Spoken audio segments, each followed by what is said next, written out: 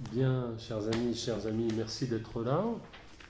Donc, parmi les, disons, les nouvelles euh, manières de la société Jean-Jacques Rousseau, nous nous sommes proposés le dispositif suivant, c'est d'organiser euh, chaque année une journée d'études qui est préparatoire à un colloque qui doit avoir lieu l'année suivante. Et donc euh, aujourd'hui, on, va consacrer euh, trois exposés à Rousseau et la différence sexuelle, Rousseau et la question de la différence sexuelle, Rousseau et le problème de la différence sexuelle, dans l'idée de consacrer à cette question dans un an euh, un colloque. Alors on est assez gênés tous les trois de proposer une après-midi consacrée à la défense sexuelle alors que les orateurs seront des orateurs et qu'il n'y aura aucune oratrice. Mais disons, c'est un peu indépendant de notre volonté parce que plusieurs euh, oratrices qui avaient proposé de parler, notamment Gabriella Silvestrini, Maria Cristina Pitassi ou Alicia Austin, euh, sont retenues, les unes pour des questions familiales, les autres pour des questions de travail. Et donc, il n'y aura que des voix masculines. Donc, d'une certaine manière, ça part très mal. Euh, et donc, on va essayer de, faire quand même entendre cette différence sexuelle euh, en comptant sur les présentes pour faire entendre aussi leur, leur voix sur les présents et les présentes. Donc l'idée est la suivante, hein, c'est qu'on va proposer trois exposés et les questions, les débats seront ouverts après chaque exposé. Euh, on ne dépassera pas pour l'ensemble de ces trois exposés plus questions euh, deux heures, donc vers 5h30 de toute façon on s'arrêtera, parce qu'à 6h on a notre assemblée générale, et entre 5h30 et 6h il faut qu'on fasse un petit comité disons, pour régler les affaires courantes. Et à la fin de l'après-midi, donc euh, avant euh, le comité, des rafraîchissements vous seront offerts et je pense qu'ils seront bienvenus. Alors, la première, euh, premier exposé, la première conférence, va être prononcée par Patrick Cochard, à ma droite, que beaucoup d'entre vous connaissez. C'est un philosophe qui a beaucoup compté dans la réinterprétation des textes de Rousseau, et notamment de cette question. Euh, sa lecture d'ailleurs de, Rousseau sert de, trame à un livre important de Claude Habib, qui s'appelle Le consentement amoureux, hein, et qui s'ouvre par une discussion euh, de trois thèses sur la question euh, de la différence sexuelle chez Rousseau. Et la troisième thèse, celle qu'elle prend le plus à cœur, avec le plus de soin, et celle de Patrick Auchard. Donc, euh, Patrick, c'est à toi. Eh bien, merci. Euh, je remercie Martin et la société d'avoir songé à moi, effectivement, pour euh, ouvrir cette question un peu délicate. Et il paraît que la prudence est effectivement la qualité principale ou la vertu cardinale d'un homme d'action. Et c'est assez dire effectivement que je ne suis pas un homme d'action, car en ces temps d'effervescence autour du harcèlement, il peut paraître insensé, provocateur, ou au moins téméraire, de s'interroger sur la différence des sexes. Puisque tout se passe comme si le slogan de l'égalité répondait à tout et suffisait à rendre vain, sinon criminel, tout autre questionnement. Et cependant, il me semble qu'il il vaut la peine de s'enquérir de ce fait frappant, comme dit Freud, celui de l'existence parmi les êtres humains de deux sexes, qui par ailleurs si semblables entre eux, accentuent pourtant leurs différences par les signes les plus apparents. Je prends le temps de lire l'ensemble de ce passage, c'est dans les, théories sexuelles infantiles. Si nous pouvions renoncer à notre condition charnelle, auf unsere Leiblichkeit, et pur être pensant venant par exemple d'une autre planète, saisir les choses de cette terre d'un regard neuf, rien ne frapperait plus peut-être notre attention que l'existence parmi les êtres humains de deux sexes, qui par ailleurs si semblables entre eux, accentuent pourtant leur différence, leur, leur diversité, je dirais plutôt, par les signes les plus apparents. Alors, je me propose donc très, très succinctement de revenir un peu comme on revient sur les lieux du crime, un commentaire que j'avais commis euh, au siècle précédent sur quelques pages du livre 5 de l'Émile. Alors, pas n'importe lesquels, à vrai dire, puisque s'y élabore, à mon sens, rien de moins qu'une véritable pensée de la différence des sexes. Ce qui, au demeurant, ne court pas les rues, attendu qu'on oscille généralement entre une affirmation idéologique et une récusation ou une dilution peut-être non moins idéologique de cette différence, ou plutôt disons de cet écart. Alors même si évidemment le sujet est semé d'embûches et semble requérir une infinie délicatesse et moult précautions, je procéderai sommairement sous forme de thèses successives et m'efforcerai d'esquisser à la diable le canevas de l'argument, ou plutôt de l'intrigue, soit pour paraphraser notre hôte ou mon voisin de gauche, le canevas de l'argument du point de vue narratif. Alors, première thèse, donc, qui oriente de façon générale mon propos, Rousseau n'est pas un idéologue, mais véritablement un philosophe. Et à ce compte, il n'a cure de prendre parti dans ce qu'il appelle les disputes, aussi récurrentes que vaines à ses yeux, sur la préférence ou l'égalité des sexes je cite donc le passage de l'Émile, ces rapports et ces différences, c'est-à-dire qui se présentent par l'anatomie comparée et même à la simple inspection, nous dit-il, doivent influer sur le moral. Cette conséquence est sensible, conforme à l'expérience, et montre la vanité des disputes sur la préférence et l'égalité des sexes, comme si chacun des deux allant au fin de la nature selon sa destination particulière n'était pas plus parfait en cela que s'il ressemblait davantage à l'autre et un peu plus loin, donc toujours dans le livre 5 de l'Émile, soutenir vaguement que les deux sexes sont égaux et que leurs devoirs sont les mêmes, c'est se perdre en déclamations vaines, c'est ne rien dire. C'est, dirais, ou ajouterais-je, c'est procéder sans même seulement chercher à savoir de quoi l'on parle. Donc Rousseau ne prend pas parti et ne se soucie pas justement de prendre parti dans ces disputes, mais il me semble qu'il donne à penser leurs différences Ensuite, de quoi il s'avère qu'ils ne sont ni égaux ni inégaux, mais tout bonnement incomparables. En ce qu'ils ont de commun, ils sont égaux, nous dit-il, ou encore ailleurs, ils ne diffèrent entre eux que du plus au moins. Par exemple, il faut assez de force aux femmes pour faire tout ce qu'elles font avec grâce, il faut assez d'adresse aux hommes pour faire tout ce qu'ils font avec facilité. En ce qu'ils ont de différent, ils ne sont pas comparables. Donc tout bonnement incomparable, proprement je dirais incommensurable, ou encore dissonant. Et je renvoie donc dans le dictionnaire de musique à l'article dissonance qui se termine ainsi. Encore une observation avant de finir cet article. Tout intervalle commensurable est réellement consonant. Il n'y a de vraiment dissonant que ceux dont les rapports sont irrationnels. Irrationnels au sens mathématique du terme, comme le, côté du carré et, la diagonale. Euh, car il n'y a que cela auquel on ne puisse assigner aucun son fondamental commun, c'est-à-dire qu'on ne puisse réduire à une commune mesure. Alors évidemment, cette différence, ce caractère incomparable, il ne peut être affirmé que moyennant la démarcation passablement problématique en chacun de l'espèce et du sexe.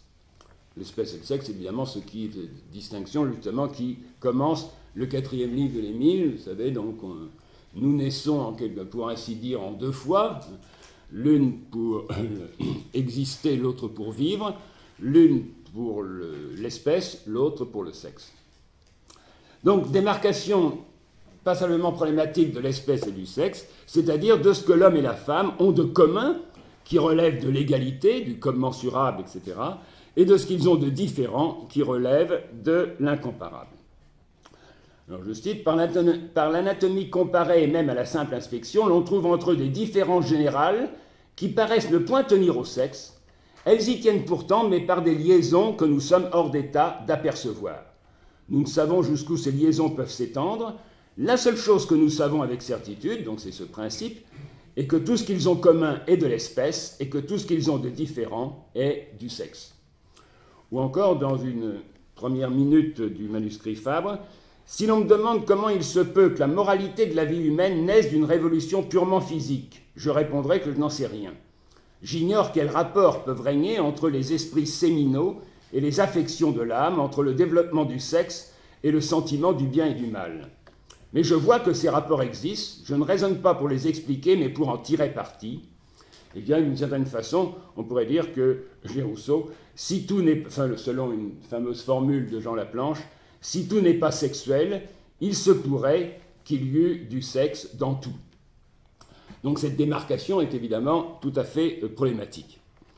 Donc en ce sens, ce que je voudrais indiquer dès le départ, c'est que Rousseau invente la femme, c'est d'ailleurs le sous-titre euh, qui commence le cinquième livre de l'Émile, Sophie ou la femme, rien que ça. Il invente la femme, je dirais, comme il invente l'enfant. Je, rappelle donc les formules de la préface de l'Émile. On ne connaît point l'enfance. Sur les fausses idées qu'on en a, plus on va, plus on s'égare. Ils, c'est-à-dire les plus sages, cherchent toujours l'homme dans l'enfant sans penser à ce qu'il est avant que d'être homme. Voilà l'étude à laquelle je me suis le plus appliqué, afin que quand toute ma méthode serait chimérique et fausse, on peut toujours profiter de mes observations. Je puis avoir très mal vu ce qu'il faut faire, mais je crois avoir bien vu le sujet sur lequel on doit opérer. Et je risquerai évidemment la, la formule selon laquelle il est peut-être loisible d'avancer pareillement que quand toute sa méthode sur l'éducation des filles serait chimérique et fausse, il ne laisse pas d'avoir bien vu le sujet sur lequel on doit opérer. Donc il invente la femme comme il invente l'enfant, et je dirais que ces deux découvertes sont aussi fondamentales l'une que l'autre. Et au reste, la dernière, celle de la femme, vient retraverser après coup l'ouvrage jusqu'à son principe même, jusqu'au principe même effectivement de l'existence. Vous savez donc, c'est ce que Rousseau appelle l'amour de soi, et marque ce principe si bien au point de la différence des sexes qu'il y aura, c'est ce que je voudrais essayer de montrer, un mode féminin et un mode masculin de l'amour de soi, ou encore que l'homme et la femme auront également part au principe de l'amour de soi, mais non pas de la même manière, ce sera un petit peu le leitmotiv que je voudrais tenir, mais non pas de la même manière, je citerai le texte de Lénine tout à l'heure. Ajoutons en effet donc que cette différence sans commune mesure, ou ce que Rousseau appelle cette diversité, n'implique nullement quelque indépendance, mais fomente au contraire partout des rapports. L'homme et la femme sont deux êtres incomparables, incommensurables, et qui ont partout des rapports. Autrement dit, s'avèrent produire une sorte d'écart actif. Je, je, cite ce passage au début du livre 5 de l'Émile. En tout ce qui tient au sexe, la femme et l'homme ont partout des rapports et partout des différences. Je dirais donc que n'en déplaise à Lacan, il y a du rapport sexuel, mais son ressort en est la différence. C'est peut-être d'ailleurs ce que Lacan voulait dire aussi, mais je laisserai, à l'un de Donc non pas un rapport malgré les différences, mais un rapport dans et par la différence même, dans et par l'absence de commune mesure, dans et par l'écart. Ce qui évidemment démarque le commerce sexuel ou amoureux de l'échange marchand. Pour ce qui est de l'échange marchand, je citerai donc ce texte d'Aristote, bien connu, c'est dans l'éthique à Nicomaque au livre 5, c'est consacré à la justice ou à, l'égalité, justement. Parce que l'échange marchand, il a justement lieu, je cite, entre des êtres autres et non égaux, mais qu'il ait besoin d'égaliser.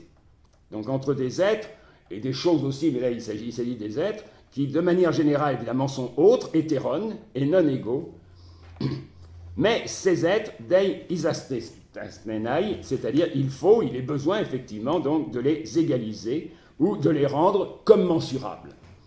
Et la formule d'Aristote, c'est que par exemple la monnaie, comme, un, comme une mesure, métronne, comme une mesure rendant commensurable, égalise. La monnaie, c'est ce qui permet d'égaliser justement en, en, fournissant justement cette mesure qui rend commensurable des choses par ailleurs tout à fait autres. Eh bien, je dirais évidemment que là, c'est différent. Il n'y a pas de monnaie ou il n'y a pas de loi susceptible de rendre commensurable et donc d'égaliser l'homme et la femme en tout ce qui tient du sexe, comme le rappelle évidemment euh, Rousseau. Alors, seconde thèse, pour pénétrer plus avant dans le vif du sujet, ce rapport, donc assorti au creuset de la différence ou de l'écart, trouve son principe dans l'union des sexes et dans la diversité ou le malentendu ou encore la dissonance, Je cite par exemple ce passage qui m'a toujours frappé, c'est tout à fait au, tout début de l'idylle de la Nouvelle Héloïse, donc 1.11, hein, où je lui écris pour terminer à peu près sa lettre, alors qu'ils sont vraiment dans le, feu en quelque sorte de leur rencontre, d'une façon. Bon. Je ne sais, mon ami, si nos cœurs auront le bonheur de s'entendre. Hein. Il me semble que c'est une formule évidemment qui va assez loin justement sur au moins l'ombre justement du malentendu qui euh, euh, ne cesse justement d'habiter ce, euh, ce, rapport. Donc non pas un rapport au titre de quelque complémentarité où s'ajusterait mécaniquement comme dans un puzzle ou une prise électrique les composantes opposées, mâles et femelles, positives et négatives, d'un ensemble unitaire. C'est pourtant le, premier, la première formule effectivement de Rousseau, parce que souvent effectivement il y a un premier, un faux départ, il appelle d'une certaine façon. Bon, alors ce faux départ, il nous dit que l'un doit être actif et fort, l'autre passif et faible. Bon, alors là, effectivement, on serait dans un ajustement, effectivement, où les composantes positives et négatives se trouveraient ajustées, en quelque sorte. Mais il me semble qu'au contraire, il s'agit bien plutôt donc d'une disparité foncière et passablement hasardeuse, dont rien n'assure la conjonction. Et c'est cette formule que qui figurait justement dans l'argument de, de, cette journée, euh, c'est cette formule effectivement donc, que, Rousseau emploie. Il faut nécessairement que l'un veuille et puisse, il suffit que l'autre résiste peu. Alors cette formule peut paraître par ailleurs tout à fait scandaleuse, effectivement, etc., mais je voudrais en dire deux mots. D'un côté, du côté mâle, la volonté, puisque c'est la question de la volonté qui est ici engagée, et il nous est dit effectivement que l'acte sexuel est le plus libre et le plus doux, je reviendrai sur cette douceur, mais d'abord le plus libre effectivement de tous les actes. Donc la volonté se manifeste, et se manifeste d'abord sans doute à son agent, en faisant bloc avec la puissance. Il faut nécessairement que l'un veuille et puisse. Veuille et puisse, ça fait une sorte de bloc d'une certaine façon, et c'est cette puissance seulement qui en fait valoir la preuve palpable et spectaculaire. Telle est, nous dit Rousseau, la loi de la nature antérieure à l'amour même. Ce que Brassens, de manière jolie, appelait justement la bandaison. Non sans évidemment que se fasse jour aussi, je cite, la modération que la nature lui impose. Parce que précisément, donc, cette puissance, cette possibilité, enfin cette puissance, le fait qu'il puisse effectivement, donc, est évidemment loin d'être illimité et elle a de sévères limites imposées justement donc par la nature. De l'autre côté, du côté de la femme, elle peut toujours, c'est ça le, caractère effectivement que nous semble indiquer par les formules qu'emploie Rousseau, il dit par exemple si les femelles des animaux n'ont pas la même honte, que s'ensuit-il? Ont-elles, comme les femmes, les désirs illimités auxquels cette honte sert de frein? Ou un peu plus loin, en livrant la femme à des désirs illimités, il, c'est-à-dire l'être suprême, joint à ses désirs la pudeur pour les contenir. Alors, on viendra peut-être sur cette question évidemment de la pudeur, mais pour l'instant, évidemment, ce que je voudrais dire, c'est que ces désirs illimités, c'est simplement le fait, effectivement, qu'il n'y a aucune borne naturelle, aucune borne qui soit imposée, justement, par la nature, hein, à la possibilité que la femme se livre justement à l'acte sexuel par opposition justement à ce qui se passe de l'autre côté. Donc du côté de la femme, pouvant toujours, elle exprime ou elle signifie effectivement sa volonté, car évidemment, ce n'est pas la peine, la peine, de le dire en quelque sorte, euh, sa volonté est également de rigueur, tant le plus libre et le plus doux de tous les actes n'admet point de violence réelle, et que Rousseau est un des premiers sans doute à condamner le viol effectivement comme un crime à proprement parler. Et je citerai encore donc ce passage de la lettre à d'Alembert où il va, semble-t-il, jusqu'au plus loin dans cette analyse. Ce n'est pas encore assez d'être aimé, c'est pour l'homme d'ailleurs, ce n'est pas encore assez d'être aimé. Les désirs partagés ne donnent pas seuls le droit de les satisfaire. Il faut de plus le consentement de la volonté. Le cœur accorde en vain ce que la volonté refuse, l'honnête homme et l'amant s'en abstient même quand il pourrait l'obtenir. Arracher ce consentement tacite, ce consentement tacite de la volonté, c'est user de toute la violence permise en, amour. Donc la volonté du côté de la femme, en quelque sorte, donc, elle exprime ou elle signifie donc sa volonté, non pas par une manifestation ou un effet physique quantifiable et incontestable, mais par un signe inquantifiable, par un signe non quantifié. Il suffit qu'elle résiste peu. Bon, peu est précisément un terme qui euh, ne se livre pas justement au calcul. Et ce signe inquantifiable est donc livré comme tel au jeu de l'interprétation et donc évidemment aux éventuelles méprises. Remarquons encore que dans cette asymétrie ou disparité en vertu de laquelle les volontés concourent également à l'objet commun, mais non pas de la même manière, c'est ce texte que je, reprends sans cesse, donc dans l'union des sexes, chacun concourt également à l'objet commun, mais non pas de la même manière, eh bien, si le mâle porte ou arbore une condition nécessaire, il faut nécessairement que l'un veuille et puisse, c'est à la femme qu'est impartie la condition suffisante, il suffit que l'autre résiste peu. Autrement dit, en tout état de cause, et que cela nous agrée ou pas, non pas, comme dit que cite Rousseau, non pas par un frivole usage de galanterie, ni par une orgueilleuse générosité de protecteur, mais par une invariable loi de la nature, dans l'union des sexes, c'est à la femme qu'il revient d'avoir le premier et le dernier mot. je, renvoie par exemple donc, à, ce que dit, à ce que dit Julie, la, toute jeune Julie, dans la même, lettre 1.11, hein, tout à fait au début, effectivement. Je voudrais que vous puissiez sentir combien il est important pour tous deux que vous vous remettiez à moi du soin de notre destin commun. Donc c'est à la femme, quelque jeune et euh, peu euh, expérimentée qu'elle soit en quelque sorte, qu'il revient d'avoir le premier et euh, le, dernier mot, c'est-à-dire de sceller la condition suffisante de l'affaire quand il n'est choix à l'homme ou à l'autre sexe que de faire valoir une condition certes nécessaire, il a quand même bien son mot à dire, mais jamais suffisante, ni initiale, ni conclusive. D'autant plus qu'au point où nous en sommes, ce mot même que l'homme a prononcé pourrait sembler être de pure forme. Je cite par exemple donc avec la facilité qu'ont les femmes d'émouvoir les sens des hommes et d'aller réveiller au fond de leur cœur les restes d'un tempérament presque éteint, une invariable loi de la nature qui donnant à la femme plus de facilité d'exciter les désirs qu'à l'homme de les satisfaire, et donc évidemment, à défaut de la réserve ou de la résistance féminine, tyrannisés par elle, je cite encore, ils, c'est-à-dire les hommes, seraient enfin leurs victimes et se verraient tous traînés à la mort sans qu'ils puissent jamais s'en défendre, si bien que le genre humain périrait par les moyens établis pour le conserver. Bon, je ferme, cette parenthèse éloquente.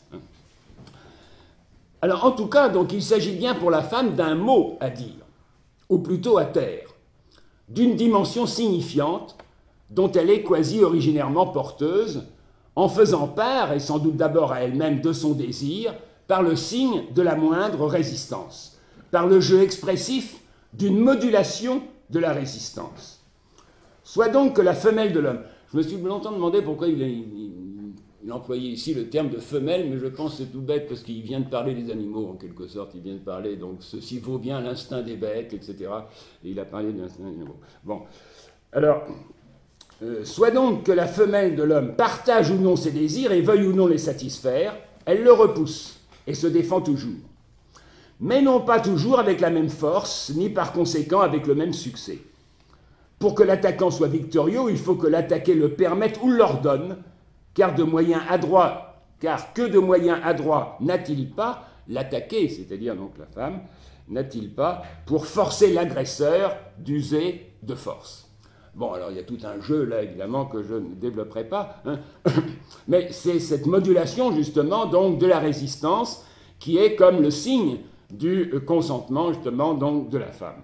Et donc la femme se trouve comme d'emblée vouée à la langue des signes, c'est-à-dire non pas précisément au babil, encore évidemment qu'elle s'y entende, pour la petite fille par exemple, le babil seul la dédommagera de toute sa peine, c'est, je crois, pour toutes ces raisons que les jeunes filles acquièrent civil un petit babil agréable, qu'elles mettent de l'accent dans leurs propos avant même que de les sentir, etc. Donc, non pas précisément au babil, ni au langage direct et laconique de la demande, celui qu'on a connu dans les trois premiers livres, effectivement, de l'Émile. Ses expressions sont simples et laconiques, c'est comme ça que doit être Émile, au moins jusqu'au livre 4. Hein. Encore moins, évidemment, le langage de la ratiocination, mais la femme est vouée à l'expression comme telle pudique, et à ce titre énergique et touchante, d'un corps non pas tant à donner aux manifestations de puissance ou de force, qu'à l'évidence sensible de l'émotion et du sentiment, non pas tant mécanique que ce que Rousseau appelle machinal, on voit en particulier donc au deuxième dialogue où il y a tout un passage justement sur la, la, conduite machinale effectivement de Rousseau et qui est justement la conduite la plus sensible possible. Donc un corps éloquent et tout empreint de l'accent du désir. Je cite ce passage célèbre, Les femmes sont fausses, nous dit-on. Elles le deviennent. Le don qui leur est propre est l'adresse et non pas la fausseté. Dans les vrais penchants de leur sexe, même en mentant, elles ne sont point fausses. La bouche dit toujours non et doit le dire, mais l'accent qu'elle y joint n'est pas toujours le même, et cet accent ne sait point mentir. De quelle adresse n'a-t-elle pas besoin pour faire qu'on lui dérobe ce qu'elle brûle d'accorder? Alors, à rebours pour Rousseau, évidemment, une prétendue franchise en la matière, j'envoie donc à une, variante de, ce texte du nom de Lénine, cette dangereuse franchise qu'on prêche aux femmes ne laisse pas justement d'être fallacieuse. Ira-t-elle, salut de Galatée, dire au berger qui la suit entre les saules qu'elle n'y fuit qu'à dessein de l'attirer? Elle mentirait, pour ainsi dire, car alors elle ne l'attirerait plus. Pourquoi dites-vous que la pudeur rend les femmes fausses? Celles qui la perdent le plus sont-elles au reste plus vraies que les autres Tant s'en faut? Elles sont plus fausses mille fois. donc la femme se trouve vouée donc, euh, euh, euh, à cette expression effectivement du désir, je dirais d'une certaine façon, que la femme, premièrement, parle.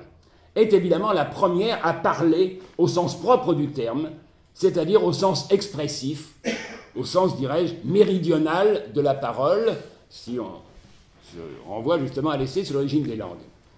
Fut-elle évidemment silencieuse Aussi bien d'ailleurs ne parle-t-elle jamais mieux qu'en croyant taire ce qu'elle exprime. Je cite donc, c'est dans la, la lettre à d'Alembert, ses craintes, ses détours, ses réserves, ses timides aveux, sa tendre et naïve finesse disent mieux ce qu'elle croit taire que la passion ne lui dit sans elle. Il s'agit de la pudeur de la femme, en quelque sorte. Cette sorte de...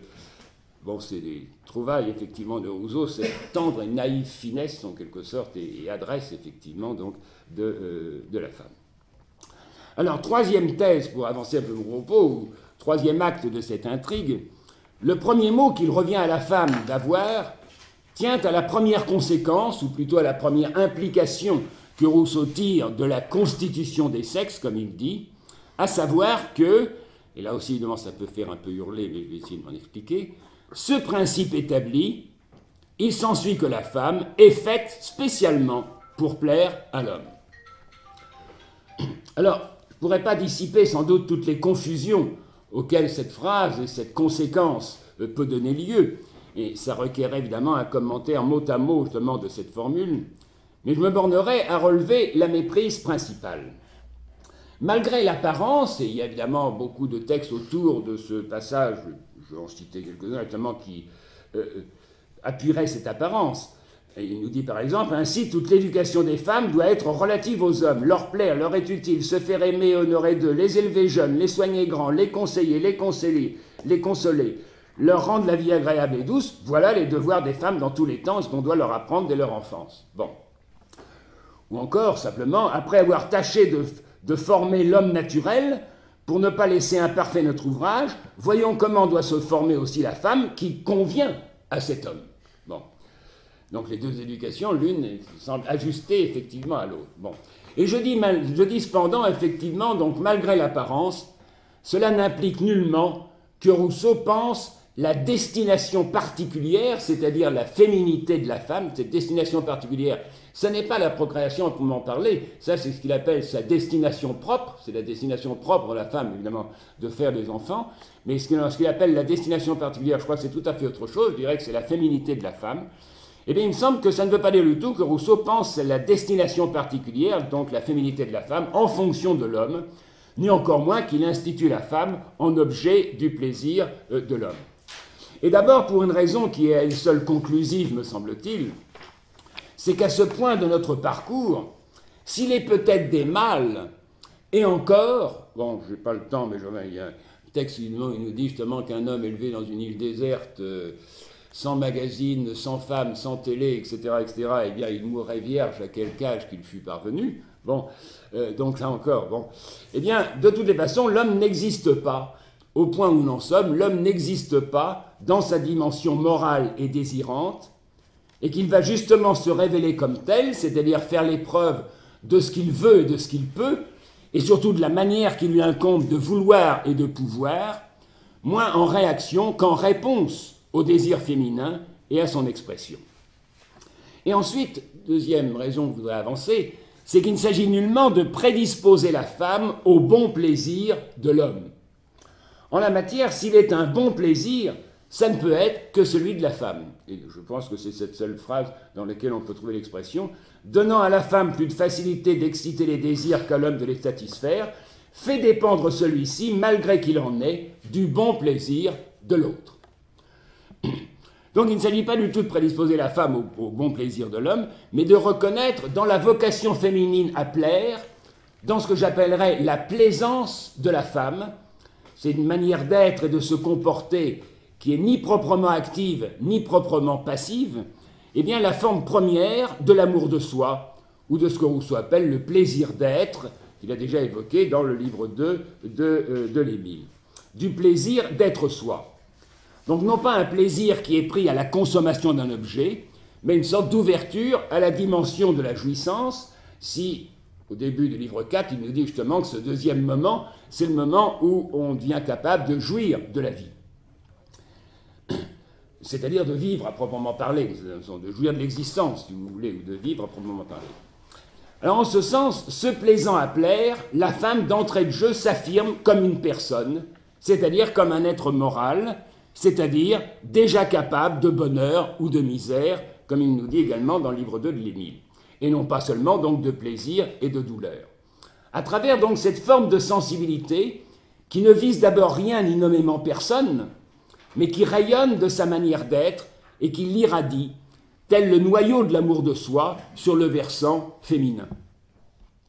Donc ce n'est pas plaire à, proprement parler, c'est plaire tout court d'une certaine façon d'abord. Donc à ce compte, je dirais que la femme se plaît à être en se plaisant à plaire. Elle plaît, verbe actif mais intransitif et, non passivable, si j'ose dire, non pas en vertu d'une stratégie délibérée visant une cible, mais comme elle respire, innocemment, machinalement, ou comme dit Rousseau souvent, et je crois que c'est la formule qui serait la plus euh, expressive, sans y songer.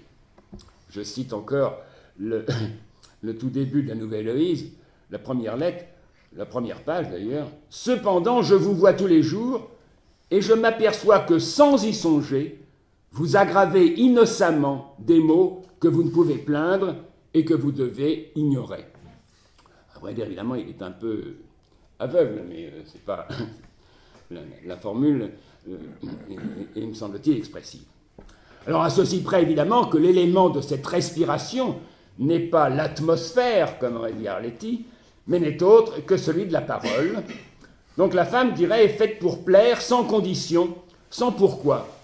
Comme la rose d'Angélus Silesius pour fleurir, à ceci près, évidemment, que cette floraison féminine accomplit la destination particulière ou encore la destination spéciale, la femme est faite spécialement, euh, d'un être moral et d'une personne qui est souci de soi et qui sans doute n'est pas indifférente au loisir d'être vue. Bon, on voit évidemment la, formule dans Silesius, en ça, ce serait peut-être incompréhensible de dire, la rose est sans pourquoi, fleurit parce qu'elle fleurit, n'a souci d'elle-même, n'a cure qu'on la voit. on ne peut évidemment pas porter l'analogie euh, jusqu'au bout. Donc se plaire à plaire, se plaire à être plaisante, c'est premièrement s'instituer comme une personne, se vouer dans cette forme absolue, originaire et caressante de la parole, à l'acte le plus subjectivant qui soit, et inversement, on ne saurait véritablement plaire que par la personne. On peut briller par la parure, mais on ne plaît que par la personne. S'il est des accessoires en l'espèce, Ce n'est jamais, je, cite, qu'un supplément aux grâces de la personne. Ou encore Sophie, dans la suite du livre 5 de l'Émile, elle sait bien qu'une parure plus recherchée est une déclaration, parce que le lendemain matin, donc après la rencontre, elle, paraît justement euh, moins, moins, moins, bien mise en quelque sorte que le, que le fois précédent. Donc Sophie sait bien qu'une parure plus recherchée est une déclaration. Mais elle ne sait pas qu'une parure plus négligée en est une autre. Elle montre qu'on ne se contente pas de plaire par l'ajustement, qu'on veut plaire aussi par la personne. Enfin, c'est le moins qu'on puisse dire aussi par la personne. D'abord, sans doute, et essentiellement par la personne. Alors maintenant, donc, on a beau souligner que la plaisance féminine a trait au creuset même de l'amour de soi et combien il s'en faut qu'elle soit pensée relativement à l'homme, il reste que la femme, figure évidemment ni ancillaire ni uniment narcissique, a toujours déjà le sentiment que, bon, je cite des textes célèbres du deuxième dialogue, que notre plus douce existence est relative et collective, que notre vrai moi n'est pas tout entier en nous, ou encore que telle est la constitution de l'homme en cette vie, qu'on n'y parvient jamais à bien jouir de soi sans le concours d'autrui. Autrement dit, quelque absolu, indéterminé et inconditionné que soit sa plaisance, et le plaisir d'être, d'être soi qu'elle en éprouve, la femme, Dieu merci, n'est pas Dieu.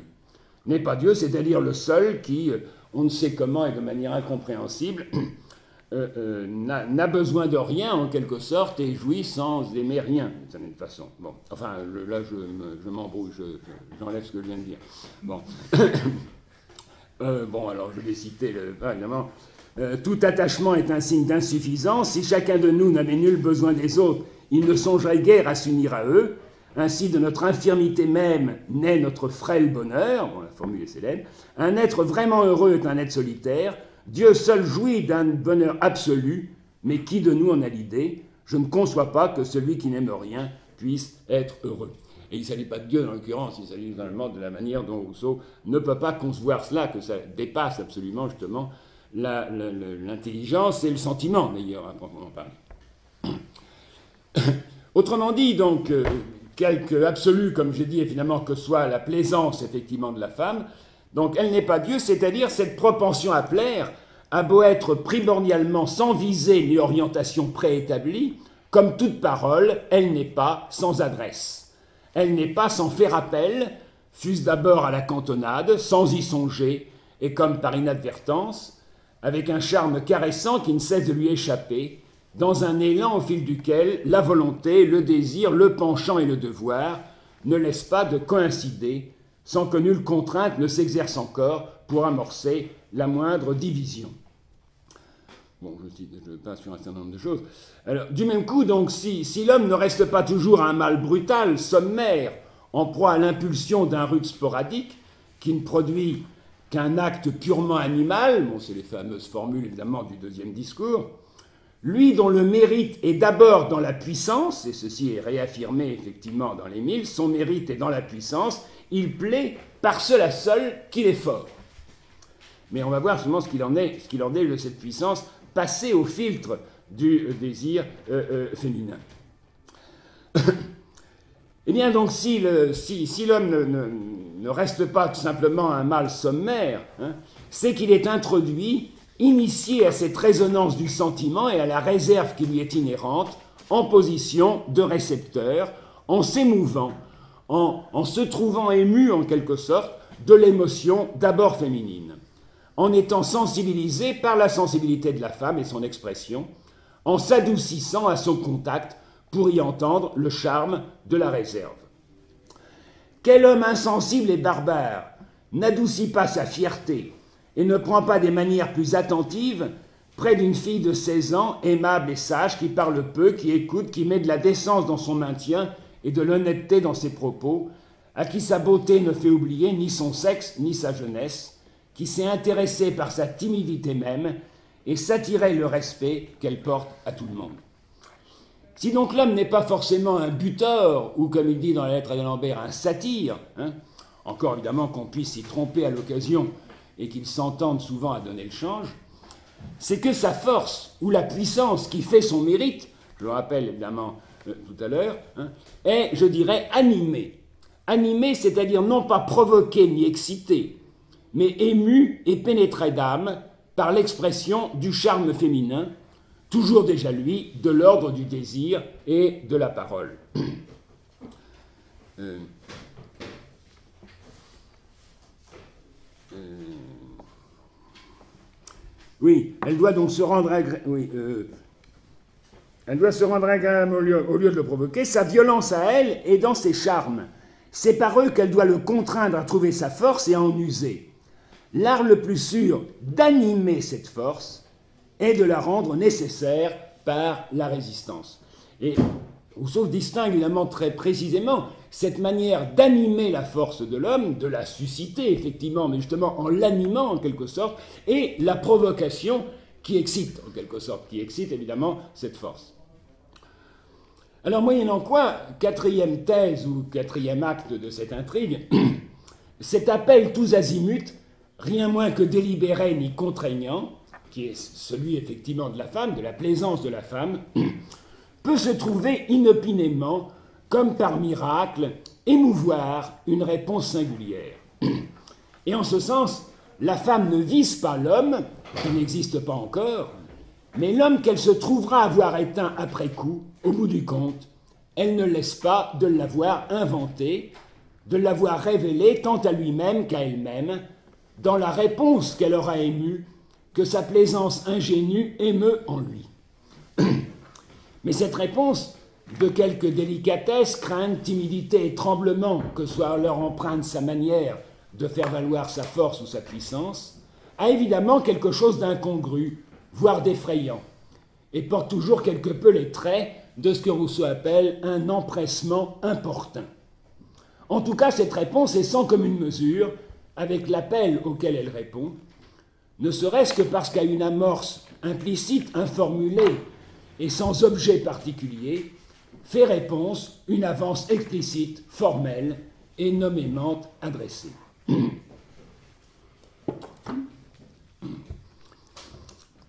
Alors si en effet le premier à former des désirs ne peut être que la femme, c'est à l'homme qu'il revient à son tour, c'est d'ailleurs un leitmotiv que vous trouvez dans le texte, à son tour d'être le premier à les témoigner. Qu'est-ce qui peut penser qu'elle, c'est-à-dire la nature, ait prescrit indifféremment les mêmes avances aux uns et aux autres, et que le premier à former des désirs doit être aussi le premier à les témoigner Donc le premier à former des désirs, ça ne peut être que la femme, et c'est à l'homme qu'il revient d'être le premier à les témoigner explicitement et de manière formelle, en sorte que chacun fait également les avances, mais non pas de la même manière. Et que si la femme invente l'homme, ce n'est pas à son image et ressemblance, mais à sa différence et dissemblance. Alors je passe sur évidemment la manière dont il peut y avoir une tératologie ici et dont effectivement les femmes peuvent inventer l'homme pour en faire une femmelette, par exemple, ce qui est une des, possibilités justement qui, euh, est ouverte. Au reste, donc en matière amoureuse, et c'est justement le trait de son inventivité, l'inattendu, la surprise, voire l'incongruité sont de règles, alors par exemple que sur le registre de l'amitié, voué à l'égalité et à la transparence des cœurs, l'inattendu serait la marque même de la trahison, ou qu'il n'y a que la trahison qui soit inattendue, et l'on sait combien Rousseau fut sourcilleux sur ce chapitre. Alors je passe sur la délicatesse exquise, au gré de laquelle le buteur se trouve promu en prince charmant, pour en venir au dernier acte de cette intrigue, au dernier mot qui, de rechef, par une invariable loi de la nature, ne peut que revenir à la femme. Cette réponse incongrue, mais qui ne laisse pas d'être son œuvre, l'œuvre de sa plaisance, il lui incombe de l'agréer ou non, c'est-à-dire d'avaliser ou non l'appel qu'elle est censée avoir émis et auquel tel homme s'est montré sensible. En d'autres termes, il n'est d'aveu ou d'appel avéré de sa part, et encore, tant justement cette réponse de la femme demeure enveloppée d'ambiguïté, donc, euh, j'ai déjà cité le texte, par une invariable nature qui fait dépendre celui-ci, malgré qu'il en ait du blond plaisir de l'autre, et le contraint de chercher à son tour à lui plaire pour obtenir qu'elle consente à le laisser être le plus fort. Alors, ce qu'il y a de plus doux, ah, j'avais laissé tomber le douceur, c'était l'acte le plus libre et le plus doux. Alors, ce qu'il y a de plus doux pour l'homme dans sa victoire et de douter si c'est la faiblesse qui cède à la force ou si c'est la volonté qui se rend. Et la ruse ordinaire de la femme, son adresse naturelle, d'une certaine façon, comme dirait Rousseau, est de laisser toujours ce doute entre elle et lui. Donc, il n'est d'aveu ou d'appel avéré de sa part, mais avéré, vous voyez que je force, je force trop le trait, cet appel reste toujours voilé, hein, que dans la réponse qui lui revient de faire à la réponse de l'homme. À ce compte, si l'homme n'est jamais dans le cas d'avoir à refuser, puisqu'aucun appel formel et sans embâche ne lui est adressé, sauf provocation malvenue qui évidemment déprave l'ordre des choses, il est sujet à essuyer des refus, et même il ne cesse d'essuyer des refus, mais diversement modulés, et donc de portée diverse, si bien qu'il peut sans trop de fatuité sans hardir parfois à deviner en certains un signe de consentement, le signe qu'il ne déplaît pas à la femme, qui lui témoigne qu'elle lui est plu ou qu'elle l'est émue. Bon, je passe évidemment ce consentement tacite et tout le, caractère très euh, délicat, en quelque sorte, selon lequel Rousseau le, dessine. Hein. Mais je dirais qu'inversement, s'il revient à la femme d'avoir à refuser sans humilier ceux qu'elle rebute, ni s'humilier elle-même en se rendant, elle est à l'abri d'avoir à essuyer des refus, puisqu'elle ne lance aucun appel formel qu'elle n'est censée avoir appelé qu'autant qu'elle a été entendue, et qu'un appel qui n'est pas entendu est tout bonnement nul et non avenu. Ceci, je dirais, à rebours de la loi du Deutéronome, nous dit, Rousseau, sur la séduction des filles, selon laquelle, à la campagne, il est bénignement présumé que la fille a crié et n'a pas été entendue. C'est la citation même du Deutéronome. Alors, à l'inverse, évidemment, si la femme provoque, et je songeais par exemple à Madame de Varan ou à Madame de Larnage, dans les deux cas, comme vous savez, Rousseau connut le plaisir mais non l'amour, eh bien, elle s'expose évidemment à être rebutée et à éprouver une sorte de viol à l'envers. C'est dans le deuxième moment avec Madame de Varence, quand il revient justement de Montpellier, que comme vous savez, la place est prise. Bon, elle lui dit ça fait rien, on peut y aller quand même, effectivement. Bon, et il dit non. La privation que je m'étais imposée et qu'elle avait fait semblant d'approuver est une des choses que les femmes pardonnent, ne pardonnent point moins par la privation qui en résulte pour elles-mêmes que par l'indifférence qu'elles y voient pour leur possession. Prenez la femme la plus sensée, la plus philosophe, la moins attachée à ses sens. Bon, pas Madame de Varan, mais à peu près quand même. Hein. Bon. Mais enfin, la femme donc la plus sensée, la plus philosophe, la moins attachée à ses sens, le crime le plus irrémissible que l'homme dont on reste à se soucier le moins puisse commettre, est d'en pouvoir jouir et de n'en rien faire. Je crois que c'est une formule qui va assez loin, même si évidemment là, Rousseau explique de manière assez. Euh, qui lui est assez favorable d'une certaine façon, donc la froideur de Madame de Varence à partir du moment où il revient finalement de Montpellier. Autrement dit, donc, chacun est également susceptible de souffrir, mais non pas de la même manière.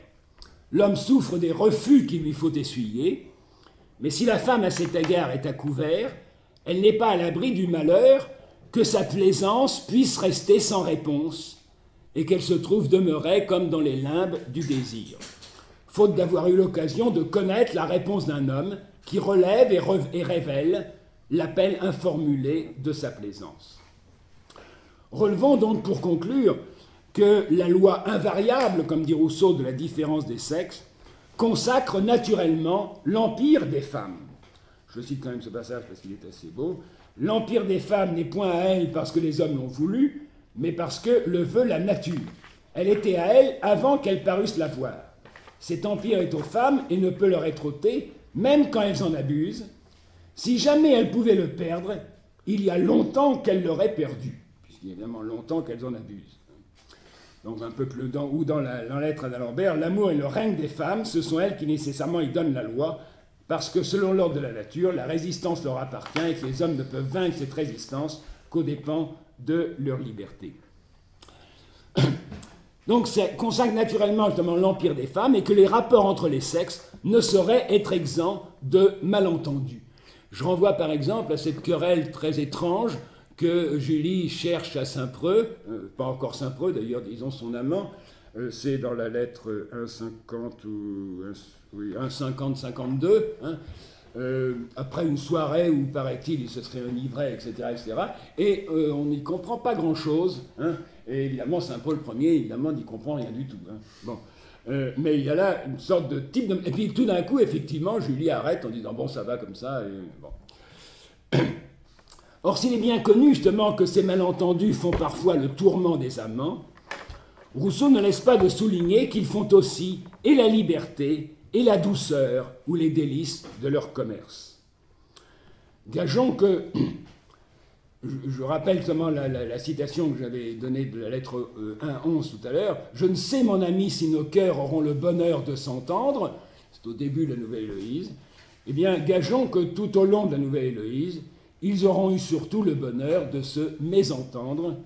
Je vous remercie.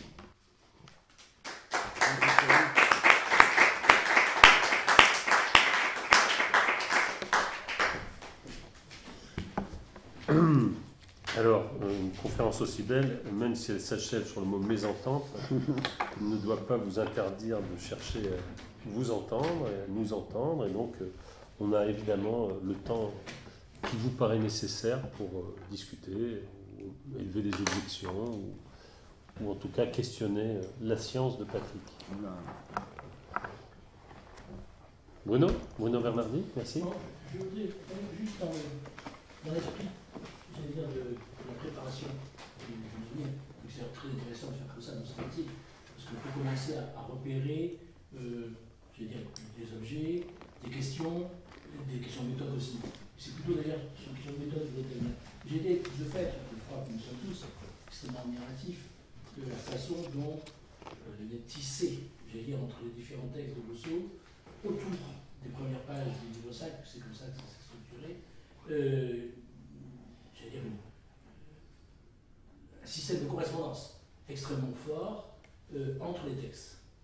Alors, on sait bien que les points de faiblesse et les points de force sont toujours les mêmes, euh, je vais quand même poser une question qui, serait, si je permets ce jeu de mots un peu facile, euh, sur la différence textuelle.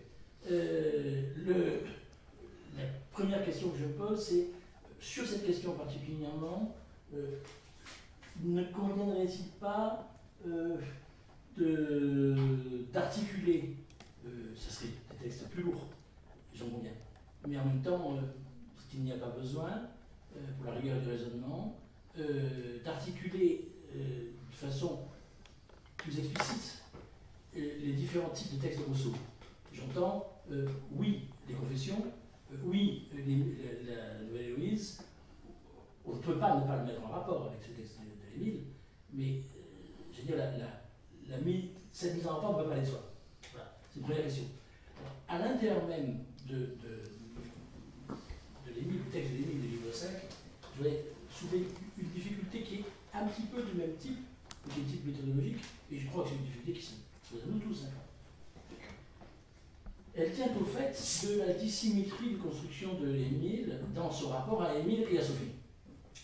Euh, Émile, nous l'avons suivi depuis le début du livre 1, euh, dans sa croissance physiologique, dans son développement intellectuel, dans son éveil moral, dans ses passions, etc.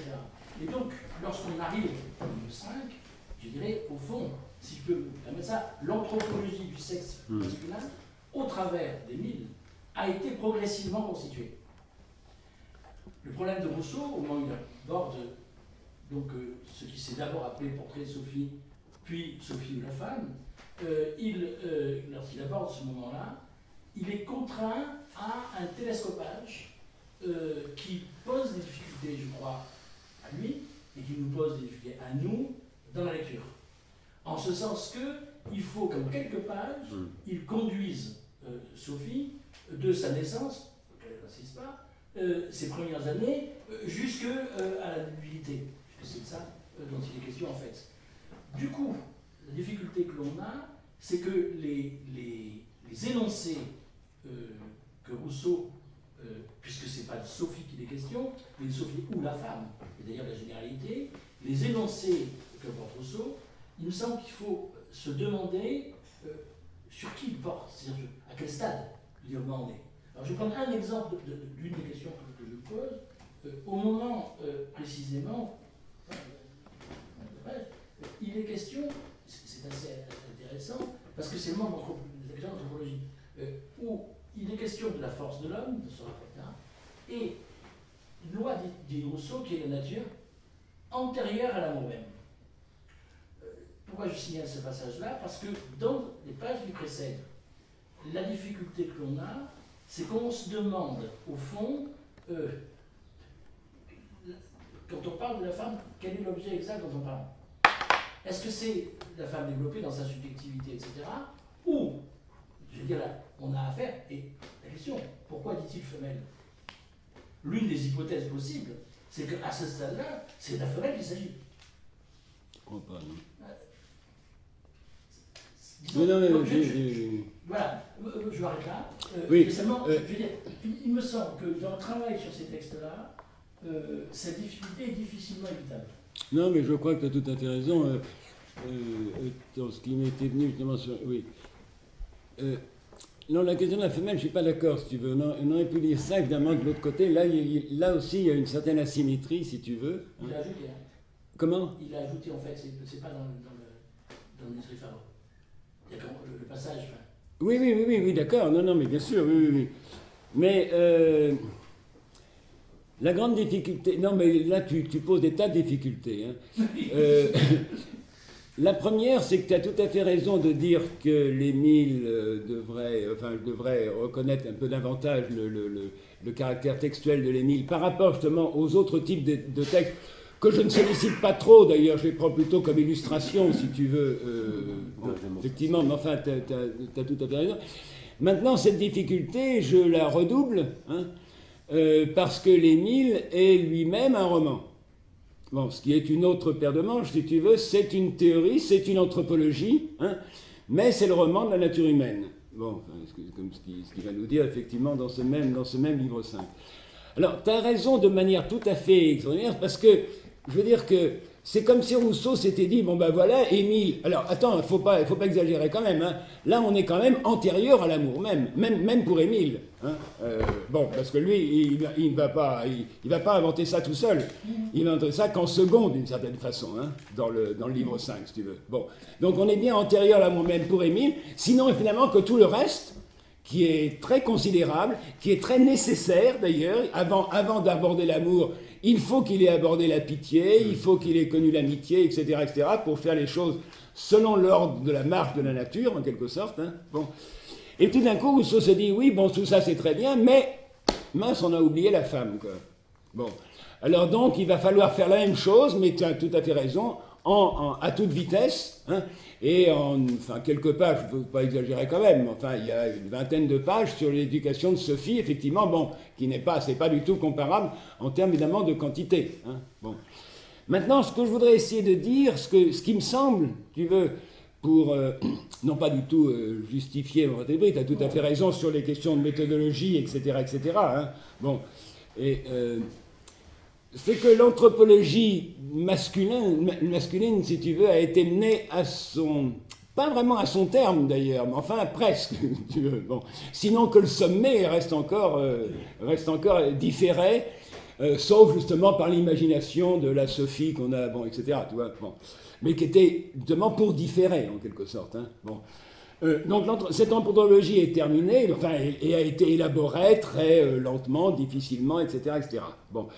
Cette, anthropologie est globalement masculine, sinon qu'il nous dit parfois dans, le, dans les mille, euh, bon, euh, euh, l'enfant évidemment est, sans sexe d'une certaine façon. Hein. Bon, ceci je n'y crois pas tellement d'ailleurs, puisqu'il va nous dire évidemment le contraire dans le livre 5, lorsqu'elle va vous parler de Sophie, hein, en disant les petites filles, presque en naissant, les petites filles presque en naissant aiment la parure. Hein. Bon. Le presque en naissant, bon, enfin, et, et, c'est par exemple ce caractère. Non, le texte me plaît quand même, même s'il peut paraître euh, euh, un petit peu bizarre, hein, parce qu'il continue, il continue en disant qu'est-ce que c'est C'est le, rapport de la petite fille à, sa poupée. Bon, il me semble tout à fait intéressant ce qu'il dit justement sur ce rapport à la poupée. Hein. La poupée, c'est pas du tout sa fille. Donc c'est pas du tout la préfiguration du maternel, effectivement, qui serait là presque en naissant, justement, dans la petite fille. Hein. La poupée, c'est elle. Et c'est elle qu'elle part, qu'elle habille, qu'elle déshabille, qu'elle ajuste de telle façon, etc. C'est ça le plaisir qu'elle prend, justement, et qui est, comme il dit, l'amusement spécial du sexe. Oui, elle, attend le moment d'être sa poupée elle-même, effectivement. Donc, le texte, il fait écho d'ailleurs à, un texte dans dans, les mille précédemment, hein, où il attend le moment où il sera son propre maître, en quelque sorte, hein, l'enfant de manière générale, tu vois. Alors, oui, c'est ça. Alors, mon impression pour aller jusqu'au bout, et c'est donner des verges pour me battre sans doute, hein, euh, euh, c'est qu'il y a une extraordinaire, pour Rousseau, une extraordinaire précocité, en quelque sorte, de la petite fille. C'est-à-dire, la petite fille est d'emblée dans le bain du désir, du langage, de la parole, etc., etc., alors que le, garçon, on va lui fermer la bouche, s'il n'a rien à demander, il n'a rien à dire. Hein. bon, et euh, il faudra que ses expressions soient euh, claires et laconiques, en quelque sorte. Hein. bon, non, le langage de la petite fille, ça sera d'emblée, en quelque sorte, celui du babil, etc. etc. Donc, il n'y a pas ces révolutions, d'une certaine façon. Hein. Il n'y a pas ces, différentes révolutions que, le, que les mille scandent. Euh, euh, dans, les, dans les trois, quatre premières parties, en quelque sorte. Hein. Et là, effectivement, d'une manière beaucoup plus rapide. Mais enfin, tu triches un tout petit peu parce que justement, j'avais commencé justement en citant un texte et en disant il se peut justement que toute sa méthode sur l'éducation des filles soit chimérique et fausse, hein, et ça n'enlève rien à sa clairvoyance sur le sujet sur lequel on doit opérer. Mais enfin, il me semble, si tu veux, qu'il y a cette idée justement. Donc, euh, l'éducation des filles, ou du moins retracer en quelque sorte hein, l'histoire justement des filles. Alors je vous donnerai deux raisons à la fois. Une raison qui est évidemment très très mauvaise consisterait à dire bon j'ai oublié la fille, hein, j'ai oublié la fille, donc il faut que, faut qu'à toute vitesse je, remette les choses à niveau puisque puisqu'ils vont se rencontrer. Hein. Donc il faut que je fasse une Sophie après avoir fait un Émile, il faut que je fasse une Sophie, etc. etc. Bon, évidemment, donc si c'est simplement pour compresser les choses, il me semble que la question aussi se pose d'une manière différente ne sont pas élevés justement de la même manière. Hein. et bon, c'est tout. Je ne vais pas être trop long sur ça sur une. Alain, tu veux intervenir? Oui, on peut se poser, je me posais la, même question, mais euh, si on lit le début du, livre 4, là, que tu as cité, où il dit à propos de, du garçon et de la fille qui se ressemblent, sont tout à fait semblables, le même nom suffit à des êtres si semblables, mais il ajoute ceci, donc à propos du plus ou moins, qui permet quand même de spécifier le moins, hein, parce qu'il y a dans tout ce début du livre 5, entre le fort et le faible, etc., il y a une espèce de manière de gazer, comme on dit chez les quelque chose qui relève très précisément d'un moins anatomique repérable, et que souligne euh, Rousseau. Hein les garçons sont des, les filles sont des enfants, les garçons sont des enfants. Le même nom suffit à des êtres si semblables. Les mâles, en qui l'on empêche le développement ultérieur du sexe, c'est-à-dire les eunuques, gardent cette conformité toute leur vie. Ils sont toujours de grands enfants, et les femmes, ne perdant point cette même conformité, semblent, à bien des égards, ne jamais être autre chose. C'est-à-dire que cette, intermédiaire euh, heuristique qui est ici l'usage de la référence à l'eunuque. Chez Montesquieu, il y a une superbe lettre d'un des eunuques qui dit Nous avons mis entre l'homme et la femme un nouveau moyen d'établir le rapport, c'est nous les eunuques. La castration intervient comme euh, finalement le, le moyen d'établir du rapport sexuel. Mais pour la question qui nous occupe, euh, on pourrait comprendre que l'éducation de Sophie ne soit pas développée selon les âges euh, euh, découpables dans les quatre premiers livres d'Émile, puisque qu'elle est toujours un enfant, c'est-à-dire il n'y a, a pas de progression, et que cet enfant est toujours déjà une femme. Donc euh, l'idée d'un développement successif dans la durée ne se pose plus, on est dans une sorte de répétition de l'identique où ce serait, on, on pourrait peut-être formuler ça presque en termes spinozistes, qu'il y a là une essence singulière qui tente à s'affirmer dans son être euh, euh, et, et à quoi pousse précisément l'éducation. La deuxième question que je voulais poser, et là c'est toujours dans le langage qu'emploie Rousseau, c'est quand il écrit, tu citais ces, ces passages euh, qui, dans, dans ce que tu dis, qui évidemment est extrêmement éclairant sur euh, ce que tu as développé parmi les, les- les quatre, quatre ou cinq thèses que tu as développées, mais que, comment doit-on entendre l'homme doit être actif et fort, la femme passive et faible Euh, c'est, Il est nécessaire que euh, il y a dans ce l'homme doit être actif quelque chose qui à la fois relève d'une sorte de loi de la nature et qui en même temps euh, semble renvoyer au devoir d'éducation. On est dans une ambiguïté, je trouve, très, très, très curieuse, comme si Rousseau opérait ici ce qu'il reproche à Hobbes et à ceux qu'il critique dans le discours, sur l'origine de l'inégalité, de projeter euh, l'après-coup sur l'origine et de, chercher euh, les effets de la société, du lien social, dans l'état de nature. Là, tout se passe comme si, en posant ces thèses, l'homme doit être actif et faible, bon, et, en disant voilà les principes, et voilà ce que j'en déduis pour l'éducation de la fille, il, euh, il avait joué un tour de bonneteau, et il avait placé déjà l'éducation dans la nature. Alors là, moi, il me semble qu'il faudrait une- un petit éclairage, ça me semble problématique. ça. Oui, euh, bon, évidemment, c'est.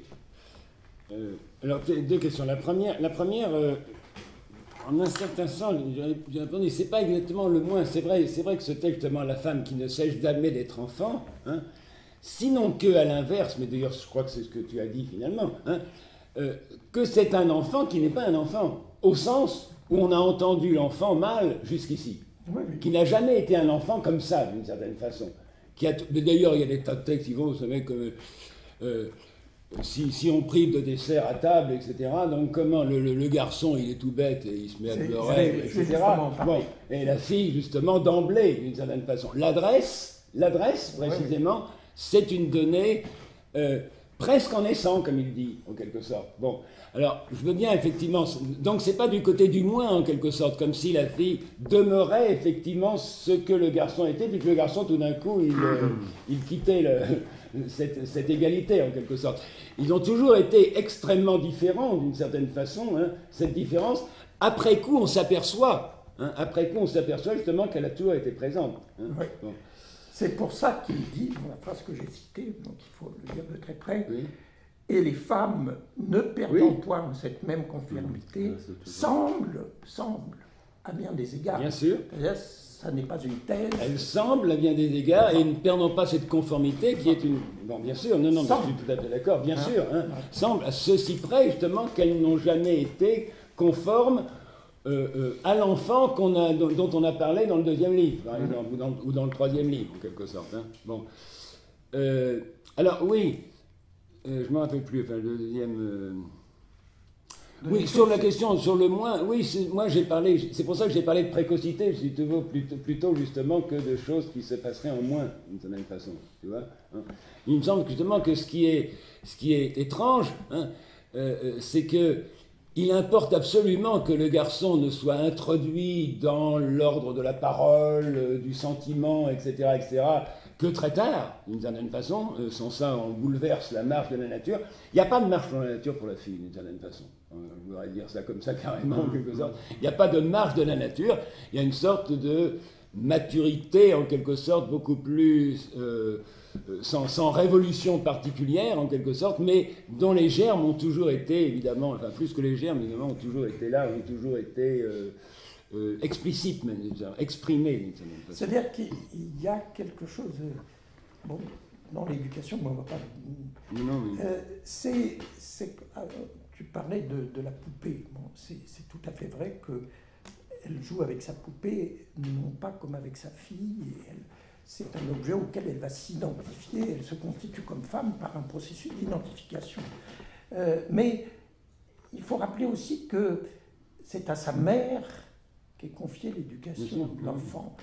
Et la mère ne se conduit pas du tout par rapport hmm. à sa fille comme le gouverneur se conduit par rapport à Émile. Et là, il faudrait étudier, c'est un rapport euh, d'identification à la mère, euh, de, enfin, je ne peux pas résumer en deux mots, ça nous non, mais, vrai, mais il faudrait l'interroger ce couple éducateur-éduqué, quand il est transféré euh, du côté mm, mm. mère-fille. Mm. Oui, il y a moins de distance, tout, est différent. Oui, ça me revient même. Euh, oui, sur euh, fort et faible, passif et fort, actif et fort, passif et faible, j'avais essayé de récuser justement cette formule. Il me semble que cette formule, elle vient juste après la formule que j'ai que j'ai explicité, si tu veux, il me semble que c'est un premier essai, en quelque sorte, que c'est. Euh, il me semble, par exemple, que... Euh, parce que c'est un petit peu comme ça dans l'écriture de l'Émile, euh, dans le, début du livre 4, ça m'a toujours semblé extraordinaire. Donc il est question de l'amour. On dit que le premier sentiment, etc., etc. Bon, puis après on se dit non, attention, non, le premier sentiment, c'est pas l'amour, c'est l'amitié. Bon. Et puis, fin de la page, non, il faut changer de méthode finalement, le premier sentiment, ça sera la pitié. Donc, il y a des faux départs comme ça que Rousseau se donne et qu'il n'enlève ne, pas d'une certaine façon. Hein. et, euh, mais, mais, après, il, il, donne les choses. Il me semble qu'ici, cette formule, avec sa symétrie parfaite, hein, qui est bien, bien, bien trop parfaite d'une certaine façon, l'un doit être actif et fort, l'autre passif et faible, hein, euh, euh, c'est une formule de ce genre-là, effectivement, comme, comme j'aimerais comprendre comme une sorte d'amorce qui, qui, fait long feu. Quoi. Alain, c'est à toi. Oui, bien sûr, bien sûr, bien sûr. Une petite question, ça me fait Bien sûr.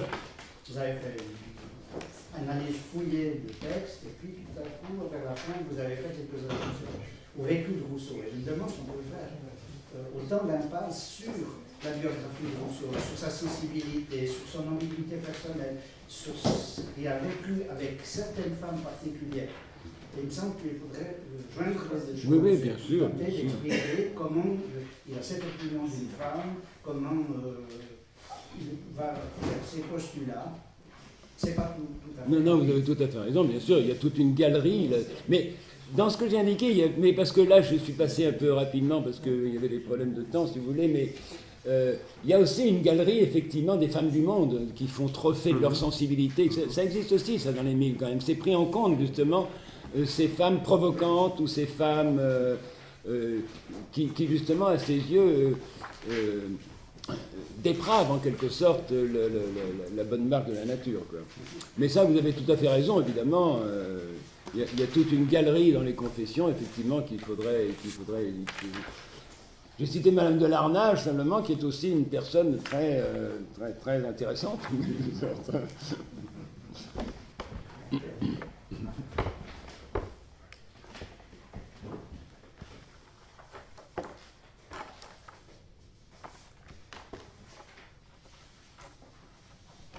Euh, tiens, un texte que tu évoquais.